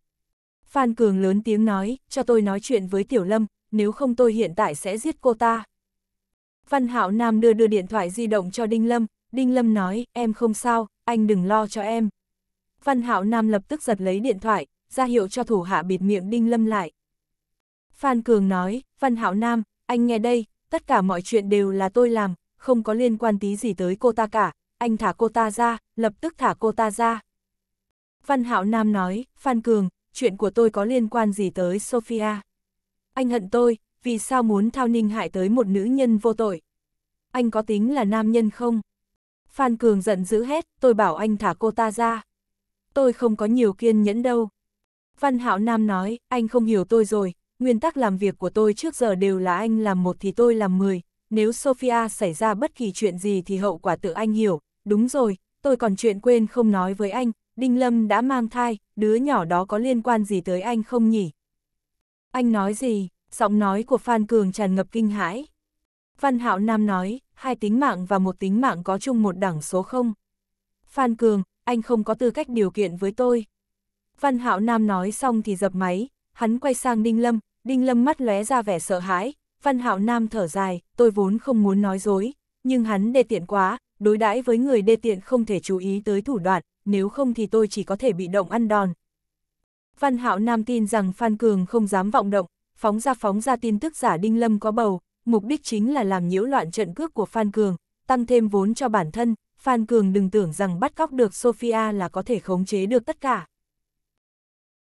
chương 1988, Bại lộ 2 Kinh thành đã đến mùa mưa, Văn Hạo Nam sau khi an bài cho Đinh Lâm thì về nhà một chuyến, hắn trước hết tìm hiểu tình cảnh Sophia hôm ấy bị bắt cóc đã. Tình tự của La Tuệ Ninh rất xấu, Sophia là biến mất khi ở cùng với bà ta, cho nên bà ta đã đổ tất cả trách nhiệm lên người mình, nhìn thấy con trai trở về, La Tuệ Ninh chán nản nói, đều do mẹ không chiếu cố tốt cho Sophia. Văn Hạo Nam vỗ vỗ mờ u bàn tay mẹ, nói khẽ mẹ, chuyện này không liên quan tới mẹ. La Tuệ Ninh thở dài nói, Trương Dương trước đó đã nhắc nhở mẹ, nói con ở Bắc Cảng rất nguy hiểm, mẹ đã sớm nên chú ý rồi, mẹ không nên để con tới Bắc Cảng. Văn Hạo Nam nhíu mày, mẹ, chuyện của con không cần hắn quan tâm. La Tuệ Ninh nhìn con trai một cái, vốn định nói gì đó, nhưng nghĩ lại thấy giờ không phải là lúc nói chuyện này, bà ta nói khẽ Trương Dương cũng đang ở Kinh Thành, chuyện Sophia bị bắt cóc hắn là người đầu tiên phát hiện. Văn Hạo Nam nói, mẹ, có thể kể lại tỉ mỉ tình huống phát sinh ngày đó cho con không? La Tuệ Ninh nói, đầu óc mẹ giờ loạn lắm, Lý Vĩ đi cùng hắn nên hiểu rõ hơn mẹ. Văn Hạo Nam nhìn ra trạng thái tinh thần hiện tại của mẹ cũng không tốt, bảo bà ta về phòng nghỉ ngơi trước, hắn gọi Lý Vĩ tới, hỏi quá trình hôm ấy, Lý Vĩ kể lại từ đầu tới đuôi cho Văn Hạo Nam. Văn Hạo Nam nói khẽ, anh là nói Trương Dương là người đầu tiên phát hiện Sophia mất tích hư. Lý Vĩ gật đầu nói, chuyện này tôi cũng cảm thấy kỳ quái, lúc ấy hắn nhận được một cú điện thoại rồi lập tức muốn đi tìm Sophia, rồi sau đó thì xảy ra chuyện Sophia mất tích. Văn Hạo Nam thầm nghĩ trong lòng, lúc ấy Phan Cường gọi điện thoại uy hiếp mình, chẳng lẽ hắn cũng gọi cho Trương Dương. Chuyện này tựa hồ không có khả năng. Sophia đối với Trương Dương mà nói thì cũng không có ý nghĩa đặc biệt gì, giữa Phan Cường và Trương Dương cũng tựa hồ không có giao tiếp, hắn sao có thể tìm tới Trương Dương. Lý Vĩ nói, anh từ lúc nào thì biết được Sophia bị bắt cóc. Văn Hạo Nam nói, trước khi tôi gọi điện thoại cho mẹ tôi, Phan Cường từng gọi một cú tới uy hiếp tôi, nội dung của cuộc điện thoại này tôi cũng không nói với ai khác. Lý Vĩ nói, tên bắt cóc theo lý thì cũng sẽ không gọi điện thoại cho Trương Dương. Văn Hạo Nam gật đầu. Lý Vĩ nói khẽ, trừ phi là hắn có năng lực biết trước hành vi phạm tội lần này, hoặc là hắn đã biết được nội dung của cuộc trò chuyện giữa đối phương và anh. Một lời làm bừng tỉnh người trong mộng, ánh mắt của Văn Hạo Nam chiếu lên di động của mình, Lý Vĩ vươn tay rồi hiệu hắn đưa điện thoại di động cho Ing, trước khi phụ trách an toàn cho Văn gia, Lý Vĩ từng là một gã đặc công ưu tú, phản giám thị phản nghe trộm chính là cường hạng của Lý Vĩ. Di động của Văn Hạo Nam rất nhanh đã bị Lý Vĩ dỡ mở, Lý Vĩ dùng nhíp gặp một dây anten di động ra, phát hiện chỗ khác thường trong đó, hai hàng lông mày rậm nhíu chặt lại. Văn Hạo Nam từ vẻ mặt của Lý Vĩ đã ý thức được chuyện gì xảy ra, sao? Lý Vĩ nói, gần đây có ai động vào di động của anh không? Từ cấu tạo của máy nghe trộm hắn đã nhìn ra, thiết bị này nhất định là cao thủ làm ra. Văn Hạo Nam nhớ lại một chút, trừ Cao Liêm Minh từng mượn di động của mình gọi điện thoại ra thì không hề có người khác chạm qua vào, mà từ trên người Cao Liêm Minh, rất dễ dàng liền nghĩ tới Trương Dương, quan hệ của Cao Liêm Minh và Trương Dương là không thể nghi ngờ, hắn tới Tân Hải công tác cũng đều là nhờ Trương Dương, không ngờ thằng ôn này cam tâm làm lính hầu cho Trương Dương, giúp đỡ Trương Dương đối phó với mình, Văn Hạo Nam tức giận đến nỗi sắc mặt xanh mét. Trương Dương đúng là bất chấp thủ đoạn, không ngờ tìm người nghe trộm mình, điều này khiến cho cừu hận trong lòng Văn Hạo Nam đối với hắn đã đạt tới cực hạn. Triệu Thiên Tài cơ hồ là tới kinh thành với Văn Hạo Nam cùng một lúc, hắn tới đây không chỉ là để tiếp tục nghe trộm Văn Hạo Nam, còn có một nguyên nhân quan trọng chính là giao tư liệu siêu tập được gần đây cho Trương Dương, hắn lấy ra đại bộ phận nội dung đối thoại giữa Văn Hạo Nam và Phan Cường, thông qua xử lý âm tần hậu kỳ thì phát hiện ra một số manh mối trong đó. Triệu Thiên Tài ở Hương Sơn Biệt Viện gặp được Trương Dương, hắn bỏ hành lý xuống rồi nói, Trương Dương, tôi đã mất được 3 tiếng đồng hồ rồi. Trương Dương nói, anh là nói. Triệu Thiên Tài nói, có thể là thiết bị xảy ra vấn đề, cũng có thể là thiết bị nghe trộm đã bị hắn phát hiện. Trương Dương nhíu mày, nếu là nguyên nhân sau thì Văn Hạo Nam khẳng định sẽ đoán được là mình động tay động chân trên di động của hắn, quan hệ vốn đã khẩn trương giữa bọn họ sẽ khẳng định càng xấu thêm. Triệu Thiên Tài tới, Trương Dương đã chuẩn bị phòng cho hắn, nhanh chóng vận hành thử thiết bị, khiến hắn kinh hỉ là, lần này rất dễ dàng tìm được tín hiệu trò chuyện của Văn Hạo Nam, Triệu Thiên Tài thở phào nói, xem ra là chúng ta lo xa quá rồi, thiết bị nghe trộm cũng không quen khí hậu, tới kinh thành thì cũng phải thích ứng một chút mới được. Văn Hạo Nam liên tục gọi mấy cú điện thoại, đều là điều tra chuyện của Phan Cường, trong điện thoại cũng không hề nhắc tới chuyện có liên quan tới bắt cóc. Sau khi Triệu Thiên Tài vận hành thử thiết bị xong, thì lại lấy ra mấy đoạn ghi âm lúc trước, Trương Dương nghe rất cẩn thận, sau khi nghe xong thì hắn có chút ngạc nhiên nói, Văn Hạo Nam không ngờ đưa Đinh Lâm tới Kinh Thành. Triệu Thiên Tài nói, hắn chính là lấy đạo của người trả cho người, dùng phương pháp đồng dạng để đối phó với Phan Cường, hơn nữa từ nội dung mà chúng ta nghe được cho thấy, hắn tựa hồ còn hơi chiếm chủ động. Đinh Lâm mang thai, chẳng khác nào hắn nắm giữ được hai tính mạng, trong tay Phan Cường thì chỉ có một cái.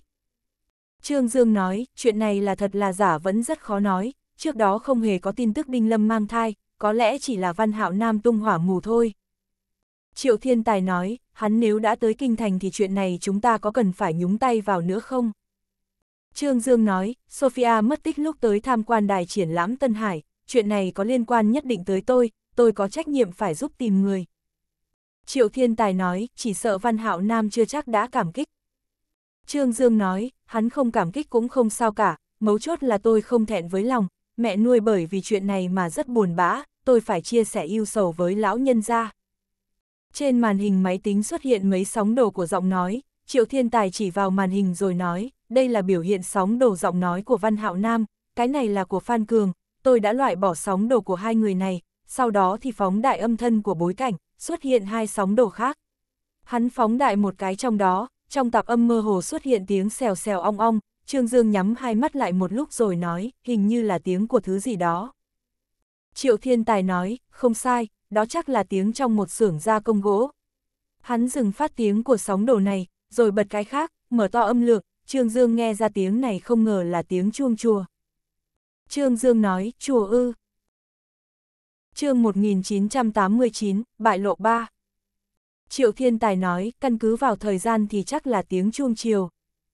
Trương Dương nói, Phan Cường không thể rời khỏi kinh thành, hơn nữa tôi phân tích cuộc ghi âm của mấy lần trò chuyện giữa hắn và Văn Hạo Nam, đều phát hiện âm tần có bối cảnh tương tự, chứng minh hắn gọi điện thoại ở cùng một chỗ, bởi vậy có thể suy đoán chỗ hắn giấu Sophia nằm ở gần một nhà máy gia công gỗ và chùa.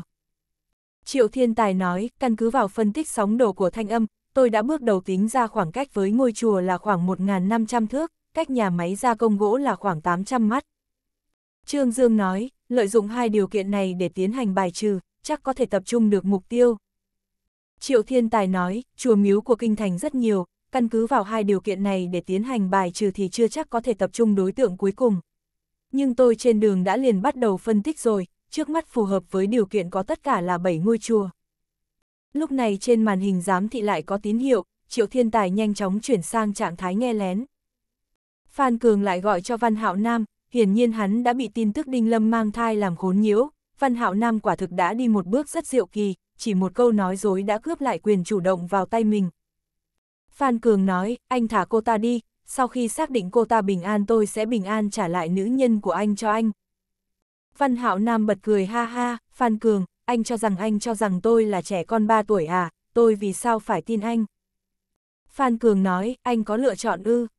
Văn Hạo Nam lạnh lùng nói, Phan Cường, những lời này hiện tại nên là tôi nói với anh mới đúng, anh nghe rõ cho tôi, tôi có thể tha cho các anh một con đường sống, điều kiện tiên quyết là anh không được làm tổn thương tới một sợi tóc của Sophia, hiện tại tôi sẽ cân nhắc xem tiếp theo sẽ làm thế nào, sau 6 tiếng đồng hồ nữa anh gọi điện thoại cho tôi. Nghe thấy Văn Hạo Nam gác máy, Trương Dương thở phào nhẹ nhõm, hắn nói với Triệu Thiên Tài, xem ra Văn Hạo Nam đã hoàn toàn chiếm thế chủ động rồi. Triệu Thiên Tài gật đầu, hình như là như vậy.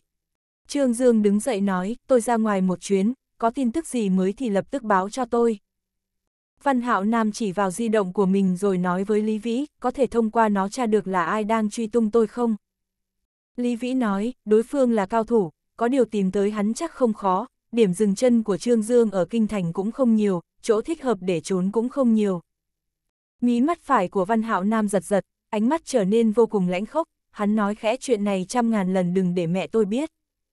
Mục đích Trương Dương tới Văn Gia là thăm mẹ nuôi, Văn Hạo Nam vừa hay ở nhà, tuy rằng Trương Dương không muốn chạm mặt với hắn, nhưng hắn cũng biết sớm muộn gì cũng sẽ phải đối mặt với Văn Hạo Nam, loại chuyện này căn bản là tránh không khỏi.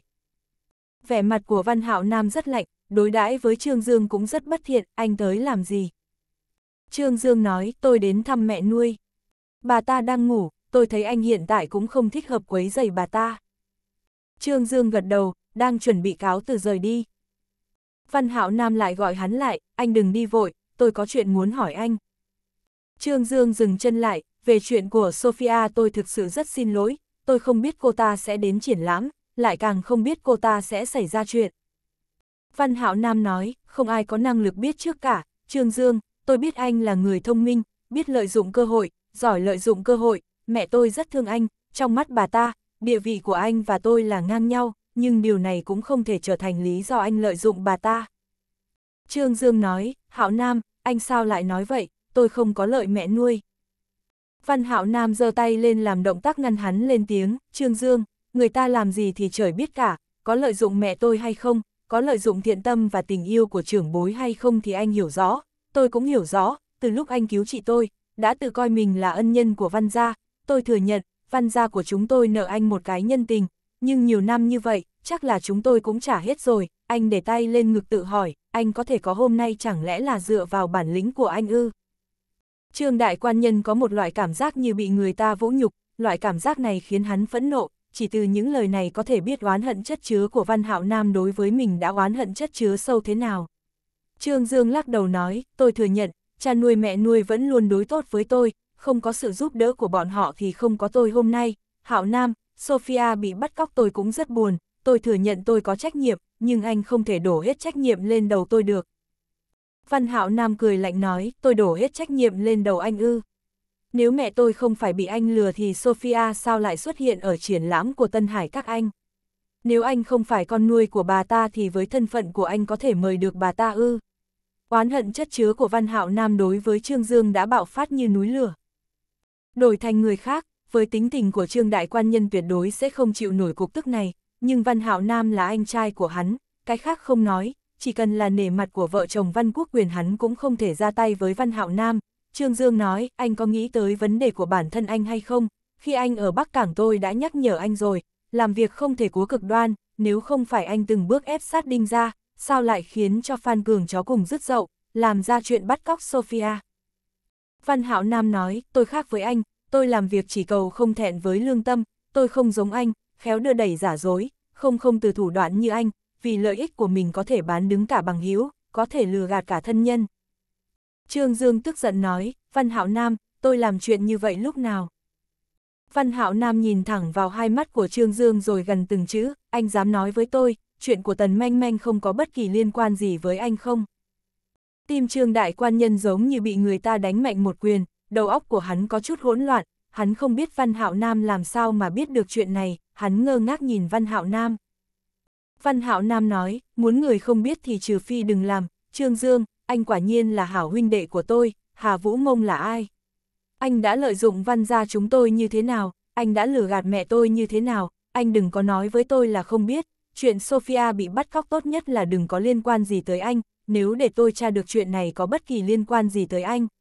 Trong đôi mắt hắn lộ ra quang mang lành lạnh, tôi tuyệt sẽ không bỏ qua cho anh. Trương Dương gật đầu, anh cũng nghe rõ cho tôi, tôi chưa bao giờ làm chuyện gì có lỗi với văn gia, trước đây đã không, hiện tại cũng không và về sau thì càng không, anh muốn nguyện ý nghe cũng được, không muốn nghe cũng được, chuyện của bác Cảng anh chơi không nổi đâu, tôi khuyên anh tốt nhất hãy rời xa trốn thị phi đó, đừng để cha nuôi mẹ nuôi phải lo lắng cho anh. Văn Hạo Nam nói, uy hiếp tôi ư. Trương Dương nói, cái đó không cần thiết. Hắn nói xong thì xoay người đi ra cửa. Văn Hạo Nam giận dữ hết, anh đứng lại đó, tôi bảo anh đứng lại đó. Hắn bỗng nhiên rút súng lục bên hông ra, nhắm ngay vào hậu tâm của Trương Dương. Từ trên cầu thang truyền đến giọng nói phẫn nộ của La Tuệ Ninh, Hạo Nam, buông súng xuống. Văn Hạo Nam giơ tay lên, hắn lay động súng lục rồi nói, mẹ, mẹ đừng lo, trong súng không có đạn. Ai cũng nói Trương Dương lớn gan, con chỉ muốn thử thôi, chỉ đùa chút thôi mà, ha ha. Tiếng cười của hắn tràn ngập lãnh ý. La Tuệ Ninh bởi vì lo lắng mà mặt cắt không còn giọt máu, bà ta đi xuống cầu thang. Trương Dương bởi vì sự xuất hiện của La Tuệ Ninh mà dựng chân, cung kính nói, mẹ nuôi. Văn Hạo Nam thì lại bởi vì tiếng mẹ nuôi này của hắn mà chán ghét nhíu mày. La Tuệ Ninh tràn ngập thương cảm nói, hai đứa ngồi xuống cho mẹ. Văn Hạo Nam nói, mẹ, con vừa nhận được tình báo về Sophia, có chuyện gì thì để sau hãng nói.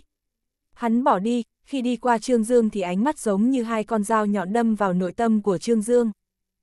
Trương Đại Quan Nhân đã một đoạn thời gian rất dài không biết Văn Hạo Nam vì sao lại có thành kiến với mình lớn như vậy, vừa rồi từ những lời mà Văn Hạo Nam thốt ra hắn bỗng nhiên minh bạch, thì ra Văn Hạo Nam đã biết chuyện của Tần Manh Manh, biết Hà Vũ Mông chính là Tần Manh Manh. Hắn cho rằng mình vẫn luôn chế tạo chướng ngại giữa hắn và Tần Manh Manh, cho rằng mình lừa gạt hắn, thậm chí cho rằng tình cảm của hắn bị hủy trong tay mình, chuyện này Trương Dương cũng không thể giải thích rõ, hắn cũng chẳng buồn giải thích. Trương Dương tới bên cạnh La Tuệ Ninh, không ngồi xuống mà đứng đó nói khẽ, mẹ nuôi, xin lỗi. Đôi mắt của La Tuệ Ninh đã đỏ lên, bà ta không muốn nhìn thấy nhất chính là cảnh huynh đệ quyết liệt, nhưng cuối cùng vẫn phải nhìn thấy, bà ta lắc đầu con không có chỗ nào có lỗi với mẹ cả. Trương Dương chậm rãi quỳ xuống, dập đầu ba cái với La Tuệ Ninh. La Tuệ Ninh không hề ngăn cản hắn, bà ta biết, Trương Dương sẽ không vô duyên vô cớ dập đầu với mình chương 1990, bại lộ 4 Trương Dương ngẩng đầu, mẹ nuôi, về sau có thể sẽ không thường xuyên tới thăm, mẹ đừng trách con. Lời nói vừa rồi của Văn Hạo Nam đã xúc phạm tới xúc phạm tới tự tôn của Trương Dương. La Tuệ Ninh gật đầu, mẹ hiểu. Trương Dương nói, mẹ cũng đừng trách Hạo Nam, hắn là một người bị hại, đối với con chút oán hận cũng nên thôi. La Tuệ Ninh nói, mẹ không trách con, Sophia mất tích là vì mẹ. Trương Dương nói, mẹ nuôi, mẹ đã làm quá nhiều việc cho con, mà con lại thủy chung mang tới rắc rối cho mẹ, con xin lỗi. La Tuệ Ninh nói, Trương Dương, những gì vừa rồi các con nói mẹ đều nghe thấy cả, thân phận của Hà Vũ Mông mẹ cũng chưa hề tiết lộ với trước bất kỳ ai. Trương Dương cười cười, mẹ nuôi, con tin mẹ, nhưng Hạo Nam cho rằng con có lỗi trong chuyện này. La Tuệ Ninh nói, chuyện này không trách được con, mẹ cũng không muốn con tiết lộ chuyện của Hà Vũ Mông cho hắn biết, con đứng lên đi. Trương Dương lúc này mới đứng dậy. La Tuệ Ninh nói, Sophia bị bắt cóc có liên quan tới chuyện của Bắc Cảng ư. Trương Dương gật đầu nói khẽ, làm việc sau khi tới Bắc Cảng đã bắt tay vào điều tra mấy án kiện trước đây, thủ pháp làm việc của hắn quá mức cấp tiến, cho nên dẫn tới sự bất mãn của rất nhiều người.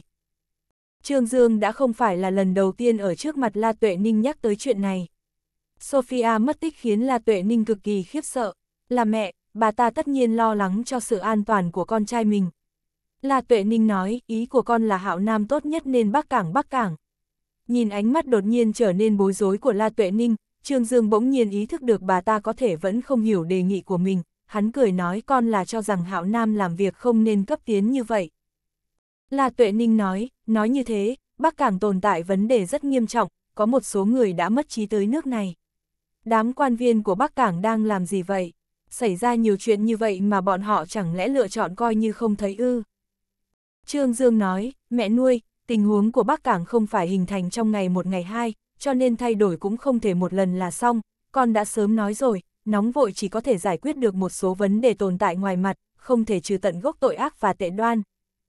La Tuệ Ninh thở dài nói, chuyện của Bắc Cảng để sau hãng nói, đối với chúng ta hiện tại mà nói thì việc cấp bách chính là tìm được Sophia.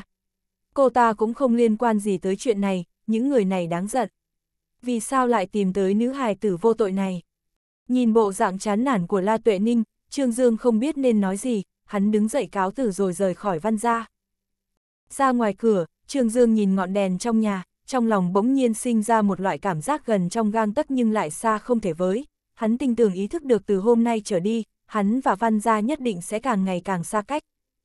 Khi Trương Dương tới trước xe thì nhìn thấy Lý Vĩ đứng trước xe của hắn, Trương Dương gật đầu cười nói, chờ tôi à. Lý Vĩ nói, có thời gian nói chuyện không? Trương Dương nói, lên xe đi. Hắn mở cửa xe, Lý Vĩ ngồi xuống. Trương Dương nhìn thoáng qua về phía tiểu lâu của Văn Gia.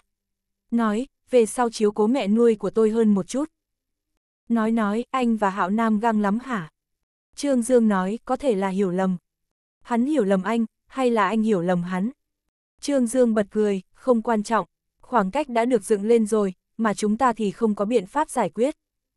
Lý Vĩ nói, Hạo Nam rất khôn khéo, rất nhiều chuyện không thể qua được mắt hắn. Trương Dương nói, cho dù tôi có từng lừa dối hắn thì điểm xuất phát của tôi cũng là thiện ý. Lý Vĩ nói, những lời này rất hư ngụy, lừa gạt thiện ý nói trắng ra chính là một loại giả nhân giả nghĩa. Trương Dương gật đầu, có lẽ anh nói đúng, nhưng có một số việc không thể nói được. Lý Vĩ nói, muốn để người khác hiểu anh thì bản thân anh phải thẳng thắn thành khẩn. Trương Dương nói, cảm ơn lời khuyên của anh.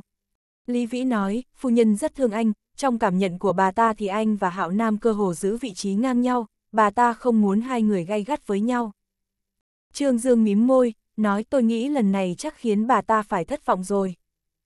Lý Vĩ nhìn thẳng vào hai mắt của Trương Dương, có chuyện tôi vẫn luôn muốn hỏi anh, ngày đó anh sao Sophia sẽ bị bắt cóc, chẳng lẽ anh có bản sự biết trước?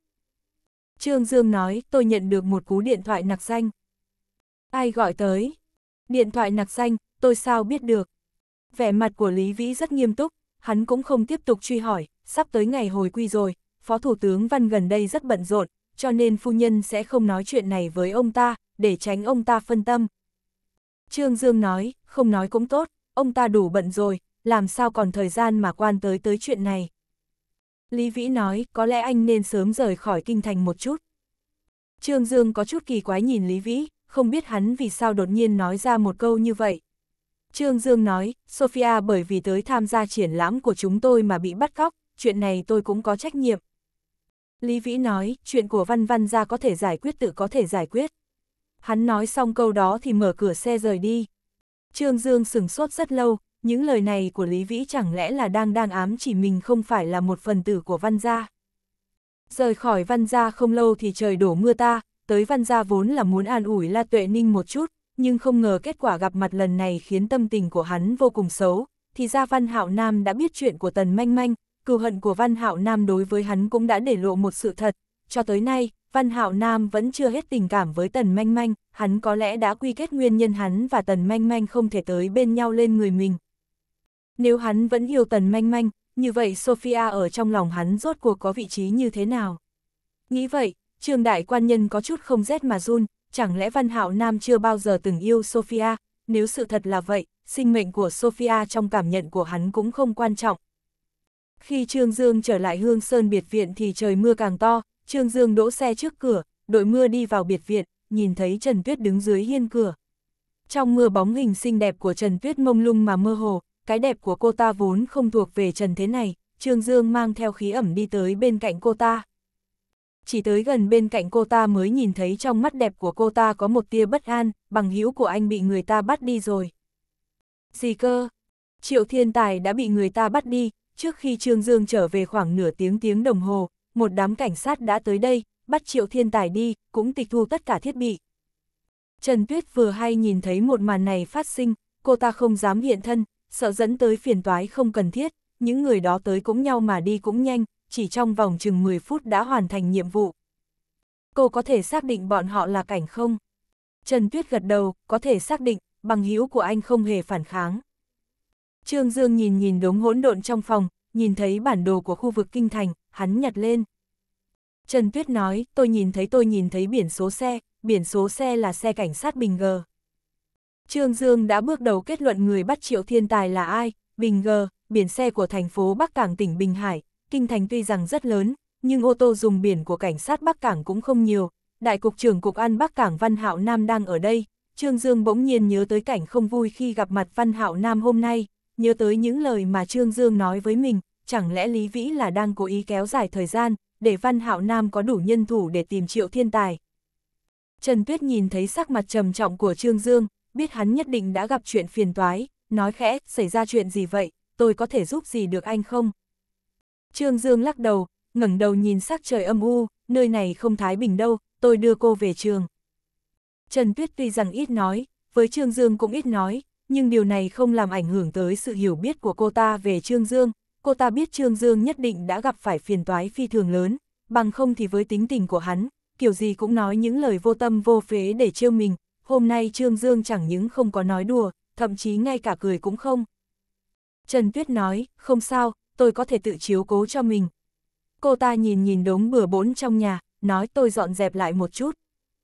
Trương Dương từ trong mỗi cái giơ tay nhấc chân của Trần Tuyết đã phát hiện khí chất của cô ta lại có một loại biến hóa siêu phàm thoát tục, hắn đón đây là do Trần Tuyết tu luyện sinh tử ấn, với tu vi võ công hiện tại của Trần Tuyết, người thực sự có thể cấu thành uy hiếp đối với cô ta cũng không nhiều, đám cảnh đó của Bắc Cảng vừa mới rời đi, theo lý sẽ không đi rồi còn quay lại, và lại Văn Hạo Nam biết quan hệ của Trần Tuyết và mẹ, theo lý thuyết thì hắn cũng không dám gây bất lợi đối với Trần Tuyết. Trương Dương gật đầu, được rồi, cô cẩn thận nhé. Hắn cũng chẳng buồn giải thích mà vội vàng lên ô tô. chương 1991, bất cứ giá nào, một. Trên đời này rất nhiều chuyện đều rất kỳ quái, tựa như quan hệ giữa Trương Dương và Văn Hạo Nam, Trương Dương vốn cho rằng bọn họ cho dù không làm được bạn thì cũng sẽ không biến thành kẻ địch, nhưng sự thật chứng minh hắn đã sai rồi, bất kể hắn có nguyện ý hay không thì Văn Hạo Nam đã coi hắn là kẻ địch, hơn nữa cửu hận đối với hắn mãnh liệt vô cùng. Triệu Thiên Tài bị bắt đủ để chứng minh, Văn Hạo Nam đã phát hiện mình bị nghe lén, hành động lần này của hắn có thể gọi là bắt được cả nhân chứng lẫn vật chứng, nếu hắn kiên trì xuống tay đối với Triệu Thiên Tài thì Triệu Thiên Tài rất khó toàn thân trở ra. Trương Dương vốn định đi tìm Văn Hạo Nam, nhưng hắn nghĩ một lúc rồi quyết định từ bỏ ý đồ này, Văn Hạo Nam chưa chắc đã chịu nể mặt hắn. Nếu là trước đây có lẽ Trương Dương sẽ nhờ La Tuệ Ninh giúp đỡ, nhưng những lời của Văn Hạo Nam hôm nay đã làm tổn thương tới lòng tự tôn của hắn, hắn có thể có được ngày hôm nay, tuy rằng cũng có quan hệ nhất định với sự chiếu cố của Văn gia đối với hắn, nhưng trên trình độ rất lớn vẫn là dựa vào bản thân hắn, Trương Dương không cho rằng mình nợ Văn gia, quan hệ của hắn và Văn gia bắt đầu là từ La Tuệ Ninh, ở trong cảm nhận của hắn La Tuệ Ninh không khác gì mẹ mình, hắn nguyện ý làm tất cả vì La Tuệ Ninh. Chưa bao giờ cân nhắc tới vấn đề hồi báo, nhưng hôm nay hắn ý thức được, bất kể mình làm gì cho văn gia thì mình Thủy chung vẫn chỉ là một người ngoài, hắn phát hiện hành vi xuất phát từ thiện ý của mình không được người ta hiểu, thậm chí ngay cả mẹ nuôi La Tuệ Ninh cũng đã nảy sinh một số hoài nghi đối với hành vi của hắn. Khi Trương Dương quỳ xuống trước mặt La Tuệ Ninh, trong tiềm thức đã phân chia giới hạn với văn gia, nếu như không cần thiết thì hắn sẽ không đi cầu bất kỳ ai trong văn gia, bao gồm cả mẹ nuôi La Tuệ Ninh. Triệu Thiên Tài bị bắt, khiến Trương Dương cảm thấy vô cùng khó xử, chuyện này tuy rằng ước nguyện ban đầu của hắn không phải là muốn đối phó với Văn Hạo Nam, nhưng trong sự đọc hiểu của đối phương khẳng định là có hàm nghĩa một khác, nhất là khi Sophia bị bắt cóc, Văn Hạo Nam nói không chừng sẽ chụp mũ lên đầu Triệu Thiên Tài, Triệu Thiên Tài trong chuyện này không có trách nhiệm gì cả, người bày kể thực sự là mình, tuy rằng Văn Hạo Nam cửu thị mình, nhưng hắn bây giờ chắc sẽ chưa ngang nhiên ra tay với mình. Đối với Triệu Thiên Tài thì hắn không có cố kỵ như vậy. Sau khi thâm tư thuộc lự Trương Dương muốn tìm đến một người quen thuộc với Văn Hạo Nam, đồng thời cũng biết Triệu Thiên Tài, quan trọng hơn là, lời nói của người này có phân lượng, có thể sẽ dẫn tới sự coi trọng của Văn Hạo Nam, người hắn nghĩ tới là Kiều Mộng Viện. Trương Dương đối với Kiều Mộng Viện sẽ ra mặt giải quyết chuyện này cũng không nắm chắc lắm, dụng ý chân chính của hắn là muốn thông qua Kiều Mộng Viện để điều tra một chút thái độ của Văn Hạo Nam. Ở trước mặt Kiều Mộng Viện, Trương Dương không hề giấu giếm gì, nói thẳng ra tất cả phiền toái của mình. Kiều Mộng Viện nghe hắn nói xong thì không khỏi thở dài, tôi còn tưởng rằng anh lần này là đặc biệt tới cổ động cho triển lãm, nhưng không ngờ anh tới là để cải thiện quan hệ với Văn Hạo Nam. Trương Đại Quan Nhân cười khổ nói, chỉ tiếc không như mong muốn, quan hệ giữa chúng tôi chẳng những không được cải thiện mà ngược lại trở nên càng ác liệt hơn. Kiều Mộng Viện nói, từ góc độ của một người bàng quan mà nói thì anh nghe lén Văn Hạo Nam trên đạo lý quả thực là không đúng trước, hắn bởi vậy sinh ra oán hận đối với anh cũng là bình thường.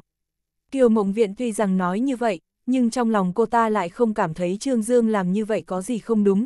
Trên thực tế, Trương Dương làm bất kỳ chuyện gì, cô ta đều sẽ đứng trên lập trường của Trương Dương để cân nhắc vấn đề. Trương Dương nói, tôi nghe lén hắn cũng là hành động bất đắc dĩ, hành động gần đây của Văn Hạo Nam vô cùng kỳ quái, hơn nữa rõ ràng là đang nhằm vào tôi, tôi muốn nắm giữ một số việc của hắn, tôi không phải muốn đối phó hắn, mà là muốn phòng bị trước một chút, không ngờ lại vừa hay nghe thấy cuộc đối thoại giữa hắn và bọn bắt cóc. Kiều Mộng Viện nói, ngày Sophia bị bắt cóc, tôi cũng cảm thấy vô cùng vô cùng, anh sao lại biết trước, không ngờ là vì nguyên nhân này. Trương Dương nói, trên đời này căn bản không có chuyện biết trước, Triệu Thiên Tài là bạn tốt của tôi, năm đó đã cùng tôi vào sinh ra tử, chuyện lần này hắn chỉ là muốn giúp tôi. Hắn anh lại để hắn dính vào quả sâu, Văn Hạo Nam ở hiện trường lại tìm thấy thiết bị nghe lén của hắn. Trương Dương à Trương Dương, anh thật sự là thông minh cả đời lại hồ đồ nhất thời, Hương Sơn Biệt Viện là địa phương nào? Là tòa nhà mà Thiên Chỉ Tiên Sinh để lại cho anh, là nơi mà anh mỗi lần đến Kinh Đô sẽ ở lại, hắn phát hiện bị anh nghe lén, tới đó lục soát cũng là hết sức bình thường. Trương Đại Quan Nhân thầm than, hiện tại nói gì cũng muộn rồi, hắn vốn cho rằng chuyện hắn nghe trộm làm rất bí mật, Văn Hạo Nam sẽ không phát giác, nhưng trung quy hắn vẫn ở triển lãm để lộ ra sơ hở, Văn Hạo Nam cũng không phải là nhân vật tầm thường, phát hiện dấu vết để lại, rồi từ theo manh mối này tìm tới Hương Sơn Biệt Viện, bắt quả tang triệu thiên tài. Kiều Mộng Viện nói, thật ra để cô la ra mặt thì thích hợp hơn. Trương Dương nói, tôi không muốn khiến bà ta phải phiền thêm. Kiều Mộng Viện nhìn vẻ mặt uể oải của Trương Dương, lập tức minh bạch tâm tình của Trương Dương lúc này, cô ta nói khẽ tôi sẽ hỏi một chút. Văn Hạo Nam lạnh lùng nhìn Triệu Thiên Tài, theo dõi tôi bao lâu rồi? Triệu Thiên Tài nói, ai theo dõi anh? Tôi cũng không biết anh vì sao lại bắt tôi. Văn Hạo Nam gật đầu, hắn cầm gậy, một gã thuộc hạ đặt một sấp tạp chí dày trước ngực Triệu Thiên Tài, Văn Hạo Nam hung hăng đánh xuống. Triệu Thiên Tài thét lớn một tiếng, cơn đau ở ngực khiến hắn cảm thấy như xương sườn sắp gãy, không đợi hắn có thời gian thở, lại một gậy nữa đập xuống, không khí trong hai lá phổi tựa hồ như trong khoảng thời gian ngắn bị người ta ép hết ra ngoài, mắt nổ đom đóm, hắn liều mạng há to miệng như muốn hít không khí, một lúc sau mới bình thường lại, cổ họng thì phát ra tiếng động quái dị, sau đó thì ho khan kịch liệt. Văn Hạo Nam nói, khi tôi hỏi anh, anh tốt nhất hãy thành thật trả lời, giờ thì nói cho tôi biết, có phải Trương Dương sai anh làm hay không? Triệu Thiên Tài lắc đầu, không biết. Văn Hạo Nam lại một gậy nữa đập lên người hắn, Triệu Thiên Tài cả người lẫn ghế ngã xuống đất, chán đập xuống đất tìm bầm, Văn Hạo Nam xông lên đang định đánh hắn tiếp thì lúc này di động của hắn đổ chuông. Văn Hạo Nam chỉ vào miệng nói, tôi trước tiên để cho anh thở đã. Hắn ra hiệu cho thủ hạ bịt miệng Triệu Thiên Tài lại rồi bắt máy, alo. Điện thoại là Kiều Mộng Viện gọi tới, nghe thấy giọng nói của Kiều Mộng Viện, lập tức liên tưởng đến Trương Dương. Kiều Mộng Viện không hề vòng vo, đi thẳng vào vấn đề, văn cục, tôi nghe nói anh bắt một bằng hữu của tôi đi, cho nên muốn cho nên muốn tìm anh xin một cái nhân tình. chương 1992, bất cứ giá nào hai. Văn Hạo Nam nói, Phó chủ nhiệm Kiều, tôi không hiểu ý của cô lắm. Kiều Mộng Viện nói, mọi người đều là lão bằng hữu chuyện gì cũng nên nói rõ, có người nhìn thấy người của anh mang triệu thiên tài đi, hắn đã phạm vào tội gì. Văn Hạo Nam cười ha ha, nói triệu thiên tài. Phó chủ nhiệm Kiều, tôi còn thật sự không biết các người là bằng hữu hắn lắp máy nghe trộm trên di động của tôi, nghe trộm nhân viên chính phủ quốc gia một cách phi pháp, cái này tựa hồ đã trở thành tội vi phạm an toàn quốc gia rồi đó. Kiều Mộng Viện nói, Văn Cục, có thể thả hắn không? Cho hắn một cơ hội, không phải vì Trương Dương, Kiều Mộng Viện cũng sẽ không phải đi cầu Văn Hạo Nam. Văn Hạo Nam thở dài nói, Mộng Viện, không phải tôi không muốn cho cô cái nhân tình này, mà là người không ở chỗ tôi, chuyện này liên quan tới an toàn quốc gia, tôi đã đưa hắn tới quốc an rồi, hiện tại quyền quyết định không nằm trong tay tôi. Kiều Mộng Viện nói, một chuyện nhỏ thôi mà, việc gì phải mở rộng ảnh hưởng. Văn Hạo Nam Văn Hạo Nam, chuyện không liên quan tới mình thì to mấy cũng chỉ là chuyện nhỏ, nếu nhất cử nhất động của cô đều nằm dưới sự giám thị của người khác, tôi tin rằng cô không thể tâm bình khí hòa nói chuyện với tôi như vậy đâu. Trương Dương nhờ cô tìm tôi phải không, giúp tôi chuyển cáo tới hắn, chuyện này tôi bất lực, trước khi làm việc nên cân nhắc tới hậu quả, nếu như tôi không lầm thì hắn hiện tại đang ở bên cạnh cô đúng không? Kiều Mộng Viện cắn cắn môi, cô ta khi nói chuyện với Văn Hạo Nam thì bật loa thoại, Trương Dương nghe thấy rõ những gì mà Văn Hạo Nam nói, nghe đến đây, hắn cuối cùng cũng không nhịn được mà lên tiếng, Hạo Nam, Triệu Thiên Tài không có bất kỳ liên quan gì tới chuyện này, anh đừng làm khó hắn. Văn Hạo Nam nói, theo như logic của anh thì ai cũng vô tội cả, vậy ai có tội? Chẳng lẽ là tôi có tội? Các anh hoàn toàn đều vô tội, chỉ có tôi là sai. Trương Dương nói, anh có gì bất mãn thì cứ nhắm vào tôi, đừng nhắm vào bằng hữu của tôi. Văn Hạo Nam nói, anh sai rồi, không phải tôi nhầm vào bằng hữu của anh, là hắn chọc vào tôi trước, cho dù các anh đối với tôi làm quá đáng như vậy, tôi cũng chỉ là để giải quyết việc chung, tôi đã đưa di động của Triệu Thiên Tài tới cơ cấu tương quan, không phải tôi không muốn nể mặt anh, là vì quyền quyết định của chuyện này không nằm trong tay tôi. Văn Hạo Nam gác điện thoại chậm rãi chậm rãi đi về phía Triệu Thiên Tài, nhấc chân lên đá một phát vào bụng hắn, Triệu Thiên Tài bởi vì đau đớn mà người cong như con tôm, nhưng hắn vẫn cố gắng nhịn đau. Văn Hạo Nam nói, kiên cường đấy, ít nhất thì biểu hiện cũng giống nam nhân.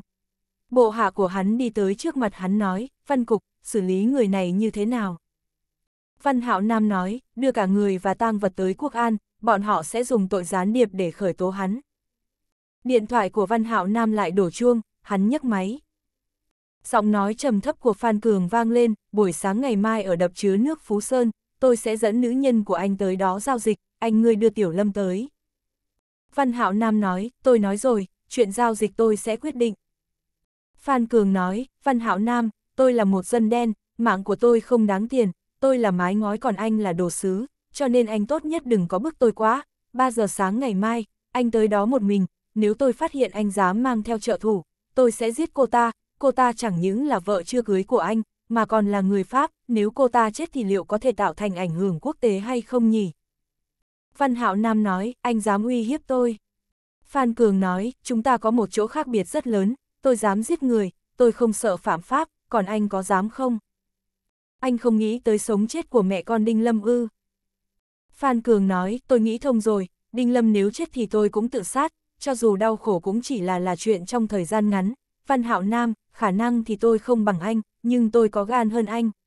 3 giờ sáng ngày mai, anh nếu không tới thì tôi trước tiên sẽ móc mắt nữ nhân này xuống, anh nếu dám mang theo ai tới, tôi sẽ tặng thêm của anh hai cái tai của cô ta. Văn Hạo Nam nói, tôi cảnh cáo anh. Phan Cường căn bản không cho hắn cơ hội đe dọa, quyết đoán gác máy.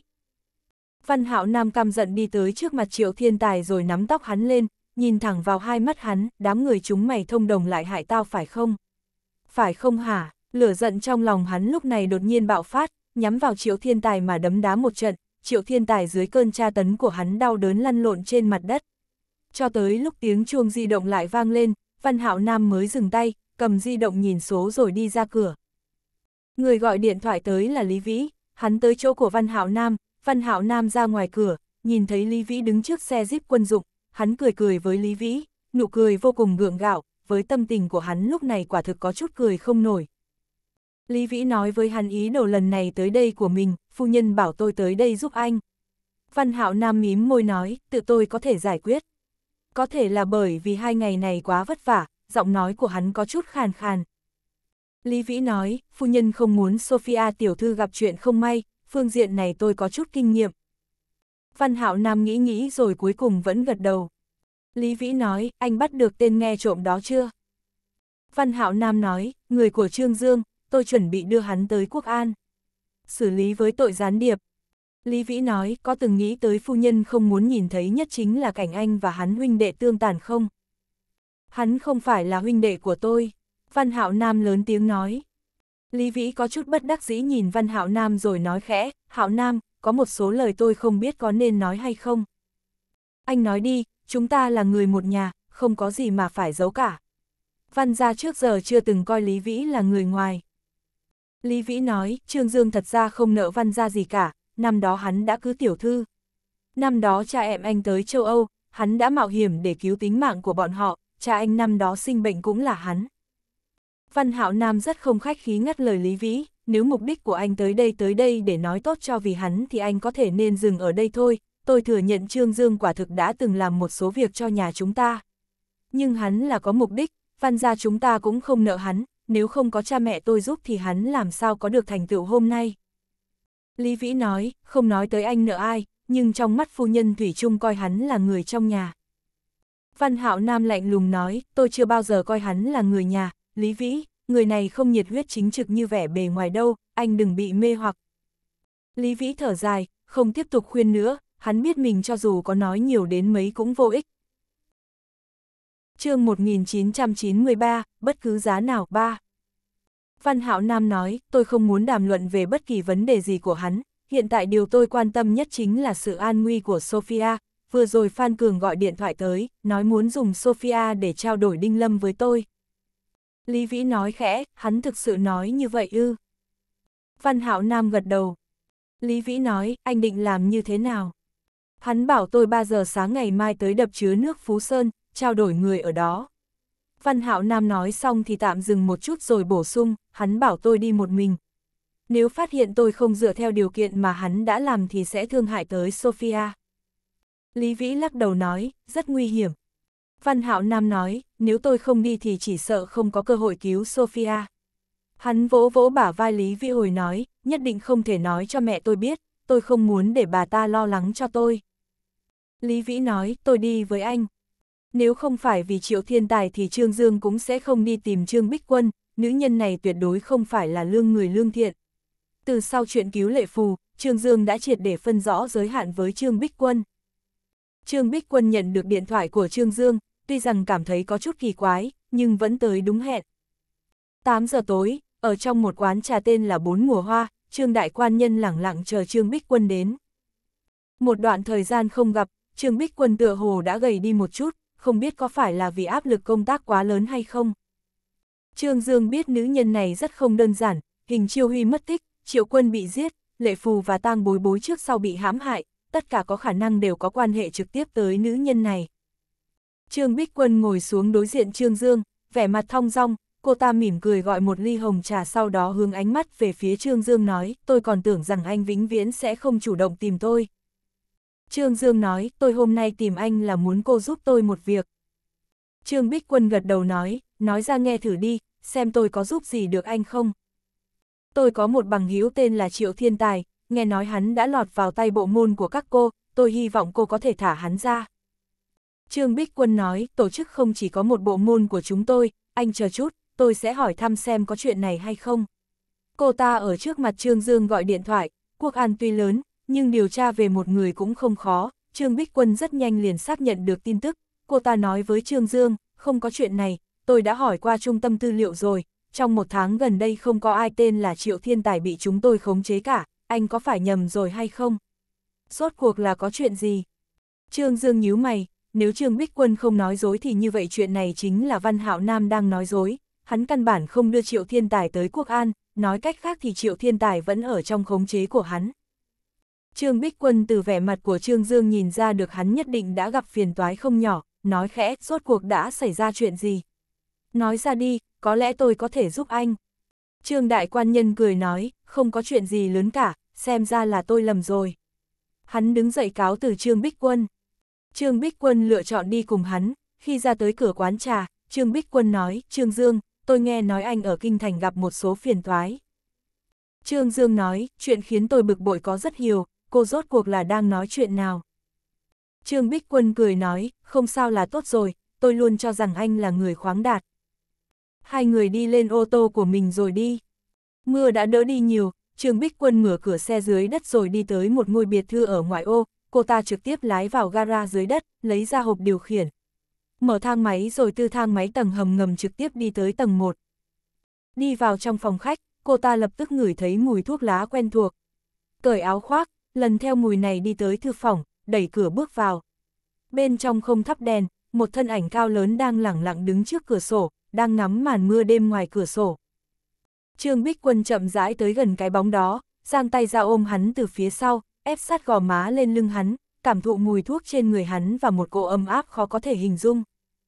Nam tử đó hít một hơi xì gà, lửa thuốc lúc sáng lúc tối vẽ ra đường cong của khuôn mặt hắn, người này chính là Tiết Thế Luân, hắn nói khẽ sao về muộn thế. Đi đâu vậy? Trương Bích Quân thở dài nói, Trương Dương hẹn gặp mặt em, hỏi em một số việc.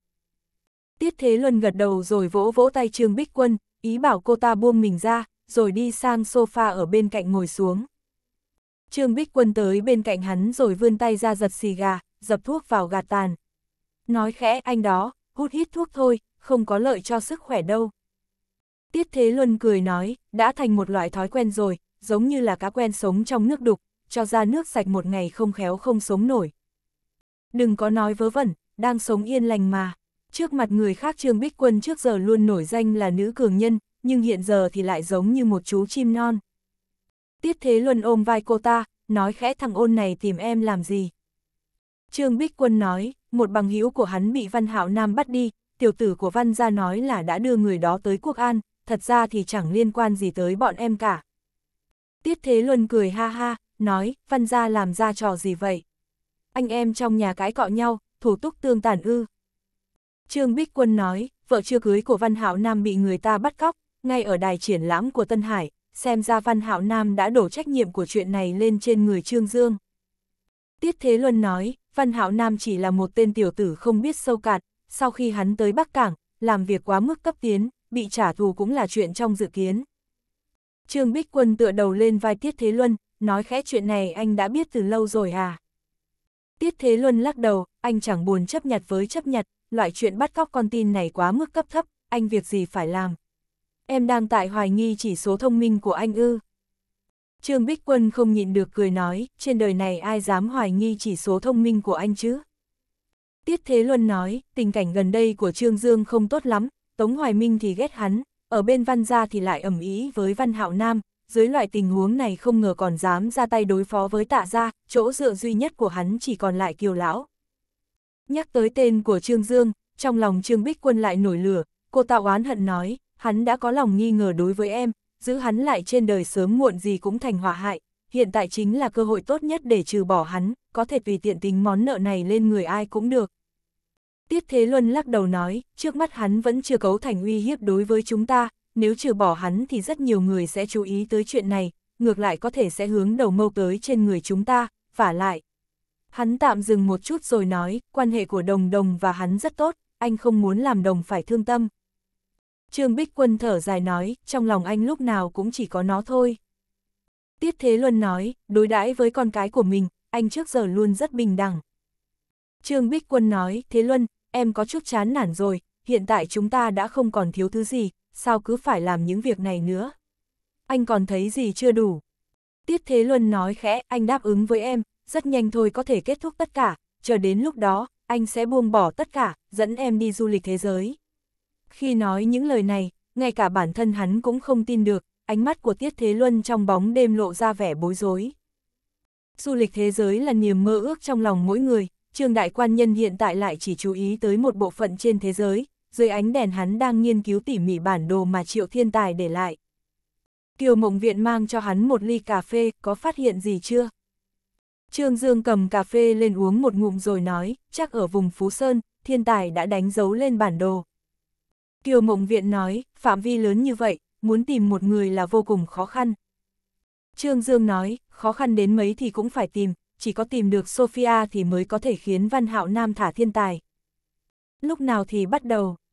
Trương Dương giơ cổ tay lên nhìn đồng hồ, đã là 10 giờ tối rồi, hiện tại bắt đầu luôn, tìm được Sophia càng sớm thì cô ta càng an toàn. Kiều Mộng Viện nói, anh muốn dùng Sophia để đổi lấy triệu thiên tài ư. Trương Dương nói, Văn Hạo Nam không dám làm gì thiên tài đâu. Hắn dù sao cũng là cảnh sát, sẽ không nhúng chàm đâu. Kiều Mộng Viện nói, tôi cảm thấy anh nên tránh xa hắn thì tốt hơn, hắn rất hận anh, loại oán hận này chắc không thể chỉ vì một chuyện. Trương Dương biết nguyên nhân chân chính, hắn cười nói, đành chịu thôi, tôi bình tĩnh nghĩ lại thì giữa chúng ta trở thành như thế này quả thực là không thể trách mỗi hắn, tôi cũng làm rất nhiều chuyện thiếu suy nghĩ, không để ý tới cảm thụ của hắn, sự bất mãn tích lũy lâu ngày, cuối cùng sẽ hình thành một tòa núi lửa. chương 1994, bất cứ giá nào 4 Kiều Mộng Viện ngồi xuống bên cạnh hắn rồi nói khẽ còn có thể hóa giải không? Trương Dương nói, tôi không vĩ đại như vậy, không làm được cái gì là lấy ơn báo oán, nhưng đối với hắn, tôi khẳng định sẽ không trả thù. Trong ánh mắt nhìn Trương Dương của Kiều Mộng Viện hiện ra vài phần nhu tình, thời gian ở chung với Trương Dương càng lâu sẽ phát hiện trên người hắn có rất nhiều điểm sáng, đương nhiên ngoại trừ sự hoa tâm đa tình của thằng cha này. Kiều Mộng Viện trong lúc vô ý đã lộ ra vẻ nhu tình, lại bị Trương Dương chuẩn xác bắt được, Trương Đại Quan Nhân tuyệt đối là hạng người giỏi tóm lấy thời cơ, tình thương của thằng cha này vượt xa chỉ số thông minh của hắn, hắn duỗi tay ra ôm lấy eo thon của Kiều Mộng Viện, rồi kéo vào lòng mình. Kiều Mộng Viện bị hắn ôm lấy, biết rõ mình nên giấy ruộng, nhưng ngay cả một chút xíu sức lực cũng không có, mặt đỏ bừng nói, anh buông ra. Trương Đại Quan Nhân nói, buông cô ra cũng không phải là không được, nhưng cô trước tiên hôn tôi một cái đã. Kiều Mộng Viện sảng giọng, anh vô sỉ. Trương Đại Quan Nhân nói, đây là ưu điểm của tôi đấy. Kiều Mộng Viện thật sự là bất lực với hắn, nói khẽ anh nhắm mắt lại. Trương Đại Quan Nhân mỉm cười nhắm mắt lại, Kiều Mộng Viện lấy hết dũng khí giống như chuồn chuồn lướt nước hôn phất qua môi hắn một cái, nhưng không ngờ Trương Dương đã dùng tay ghi chặt lấy cô ta. Môi của hai người rằng có một lúc, tay của Trương Đại Quan Nhân vuốt ve cặp đùi nhẫn nhụi của Kiều Đại Tiểu Thư, trong lòng sảng khoái khó có thể hình dung. Dục vọng trong lòng thằng cha này cũng theo chỗ đó của thân thể mà nhanh chóng bành trướng, tay hắn vừa thò vào trong váy ngắn của Kiều Mộng Viện thì môi bỗng nhiên đau nhói. Chính là bị Kiều Mộng Viện cắn một cái, mặt đẹp mông lung như sương khói, nói, đừng. Anh, còn phải đi cứu người mà. Trương Đại Quan Nhân lúc này thần trí mới tỉnh táo hơn một chút, lưu luyến không rời thu hồi ma chảo của mình, à. Nhưng mà sao tôi cảm thấy mình mới là người cần được cứu nhỉ? Kiều Mộng Viện ngồi cách hắn một khoảng, cúi đầu, thẹn thùng vô hạn, ánh mắt nhìn chằm chằm vào mũi chân của mình rồi nói khẽ anh cẩn thận một chút. Nếu không phải cô ta bị Trương Dương khiến cho tâm thần hoảng loạn thì nhất định muốn kiên trì đi cùng với Trương Dương. 3 giờ sáng, mưa đêm đã tạnh dần, một chiếc xe Jeep quân dụng xuất hiện trên đường phía trước đập chứa nước Phú Sơn. Chiếc xe này vừa xuất hiện thì Phan Cường trốn trong rừng cũng phát hiện. Hai ngọn đèn ô tô lấp loáng trên đường núi, cho tới lúc đén tới gần, Phan Cường mới bỏ kính viễn vọng xuống, hắn cẩn thận quan sát tình huống chung quanh, trừ chiếc xe Jeep quân dụng này ra thì không còn chiếc xe nào cả, xem ra Văn Hạo Nam cũng thực sự giữ lời hứa. Xe Jeep quân dụng chậm rãi tới địa điểm ước định, Văn Hạo Nam mở cửa xe bước xuống, trên đập lớn không có một bóng người, hắn đang nhìn xung quanh thì nghe thấy động cơ xe máy vang lên. Một chiếc xe máy từ xa lái tới. Văn Hạo Nam nheo mắt lại, tay hắn đặt lên súng lục sát bên hông. Xe máy còn cách Văn Hạo Nam năm thước thì dừng lại. Lái xe xoay người xuống xe. Văn Hạo Nam liếc một cái liền nhận ra người này chính là lái xe lưu tân sinh của Đinh Lâm, cũng chính là Phan Cường đã bắt cóc Sophia. Ánh mắt hai người lạnh lùng nhìn nhau, đều cảm nhận được sát khí lạnh thấu xương trong ánh mắt của đối phương. Văn Hạo Nam nhìn nhìn ra phía sau Phan Cường, người đâu? Phan Cường nói, Đinh Lâm đâu? Văn Hạo Nam nói, trong xe. Phan Cường bỗng nhiên lấy súng lục ra, dí vào chán Văn Hạo Nam rồi gầm lên, dẫn tôi đi gặp cô ta. Khoảnh khắc hắn móc súng lục ra, Văn Hạo Nam dùng tốc độ không kém gì hắn cũng rút súng, dí vào ngực hắn. Văn Hạo Nam lắc đầu nói, trước khi tôi thấy Sophia thì anh đừng hòng. Phan Cường cười gần nói, nếu không cho tôi xác nhận Đinh Lâm bình an vô sự thì giao dịch tối nay của chúng ta coi như kết thúc. Văn Hạo Nam gật đầu, hắn dẫn Phan Cường tới trước tới rồi mở cửa xe, Phan Cường nhìn vào bên trong, quả nhiên nhìn thấy Đinh Lâm đang an vị bên trong xe, một tay còn bị khóa lên tay nắm cửa, trên lưng cô ta đeo một cái túi du lịch, miệng thì bị bịt, trên mặt tràn ngập vẻ sợ hãi. Phan Cường kích động nói, Tiểu Lâm, em đừng sợ, anh tới rồi, anh nhất định sẽ dẫn em bình an rời khỏi nơi này, anh nhất định. Đinh Lâm ở trong lòng hắn là cực kỳ quan trọng, nếu không Phan Cường cũng sẽ không xả thân vì cô ta như vậy. Văn Hạo Nam lạnh lùng ngắt lời Phan Cường, trong túi du lịch toàn là bom, chỉ cần tôi ấn cái điều khiển từ xa này thì cô ta và ô tô sẽ cùng nhau tan thành mây khói. Phan Cường nhìn Văn Hạo Nam, trong ánh mắt lộ ra tia sợ hãi, hắn bật cười, anh không dám, với khoảng cách ngắn như vậy thì anh không dám đâu. Văn Hạo Nam cười nói, trên đời này không có chuyện gì là tôi không dám làm cả, Phan Cường, hiện tại giao Sophia ra đây cho tôi. Phan Cường nói, anh trước tiên cởi bom trên người cô ta đã. Văn Hạo Nam nói, nếu chúng ta đều chết ở chỗ này, Sophia khẳng định sẽ hội an có đúng không? Phan Cường nói, cô ta sẽ đói chết. Không, cô ta sẽ ngạt thở mà chết, nếu tôi không quay về trong vòng một tiếng thì tôi sẽ bởi vì thiếu không khí mà chết ngạt. Văn Hạo Nam nói, con người ai mà chả chết, chỉ là sớm hay muộn mà thôi. Anh không màng tới sự sống chết của cô ta ư. Phan Cường giận dữ hét. Văn Hạo Nam nói, như nhau cả thôi, nếu anh thực sự để ý tới sự sống chết của Đinh Lâm thì anh hiện tại đã buông súng rồi. Đinh Lâm ở bên trong xe liều mạng lắc đầu, cô ta muốn cản trở Phan Cường làm như vậy. Từ ánh mắt của ánh mắt cũng đã nhìn ra hắn đang do dự. Nhưng vào lúc này, bỗng nhiên phát ra tiếng phốc, từ gầm xe bắn ra một viên đạn, trúng ngay mắt cá chân phải của Phan Cường, Phan Cường hét lớn một tiếng, người hắn lảo đảo, suýt nữa thì ngã xuống đất, Văn Hạo Nam giống như một con báo lao tới, túm lấy cổ tay hắn rồi đè Phan Cường xuống đất. Hai người vật lộn trên đường, Lý Vĩ ngay lập tức từ chỗ ẩn thân dưới thân xe chui ra, giúp Văn Hạo Nam chế trụ Phan Cường. Phan Cường dùng đầu húc về phía Văn Hạo Nam, Văn Hạo Nam thụi một cú thật mạnh vào mặt hắn, đánh cho mặt Phan Cường đầy máu, sau đó tóm lấy cổ áo hắn rồi giận dữ hét, Sophia ở đâu? Phan Cường nghiến răng nghiến lợi nhìn Văn Hạo Nam rồi chỉ cười lạnh điên cuồng. Văn Hạo Nam liền đánh vào mặt hắn liên tục mấy quyền, hắn móc súng lục ra, dí thẳng vào mặt Phan Cường rồi hét lớn, tao cho mày một cơ hội, 3, 2. Phan Cường điên cuồng cười nói, có gan thì anh nổ súng đi, tôi nếu chết thì nữ nhân của anh cũng phải chôn cùng tôi. Văn Hạo Nam giơ báng súng lên hung hăng nện vào miệng hắn, một cái răng cửa của Phan Cường bị đập gãy. Lý Vĩ ngăn cản Văn Hạo Nam tiếp tục nổi cơn điện, hắn nói với Phan Cường, Sophia vô tội, anh cũng không muốn hại chết một tính mạng vô tội đúng không? Phan Cường nói, trừ phi thả chúng tôi ra, dưỡng khí cung cấp cho cô ta cũng không nhiều đâu.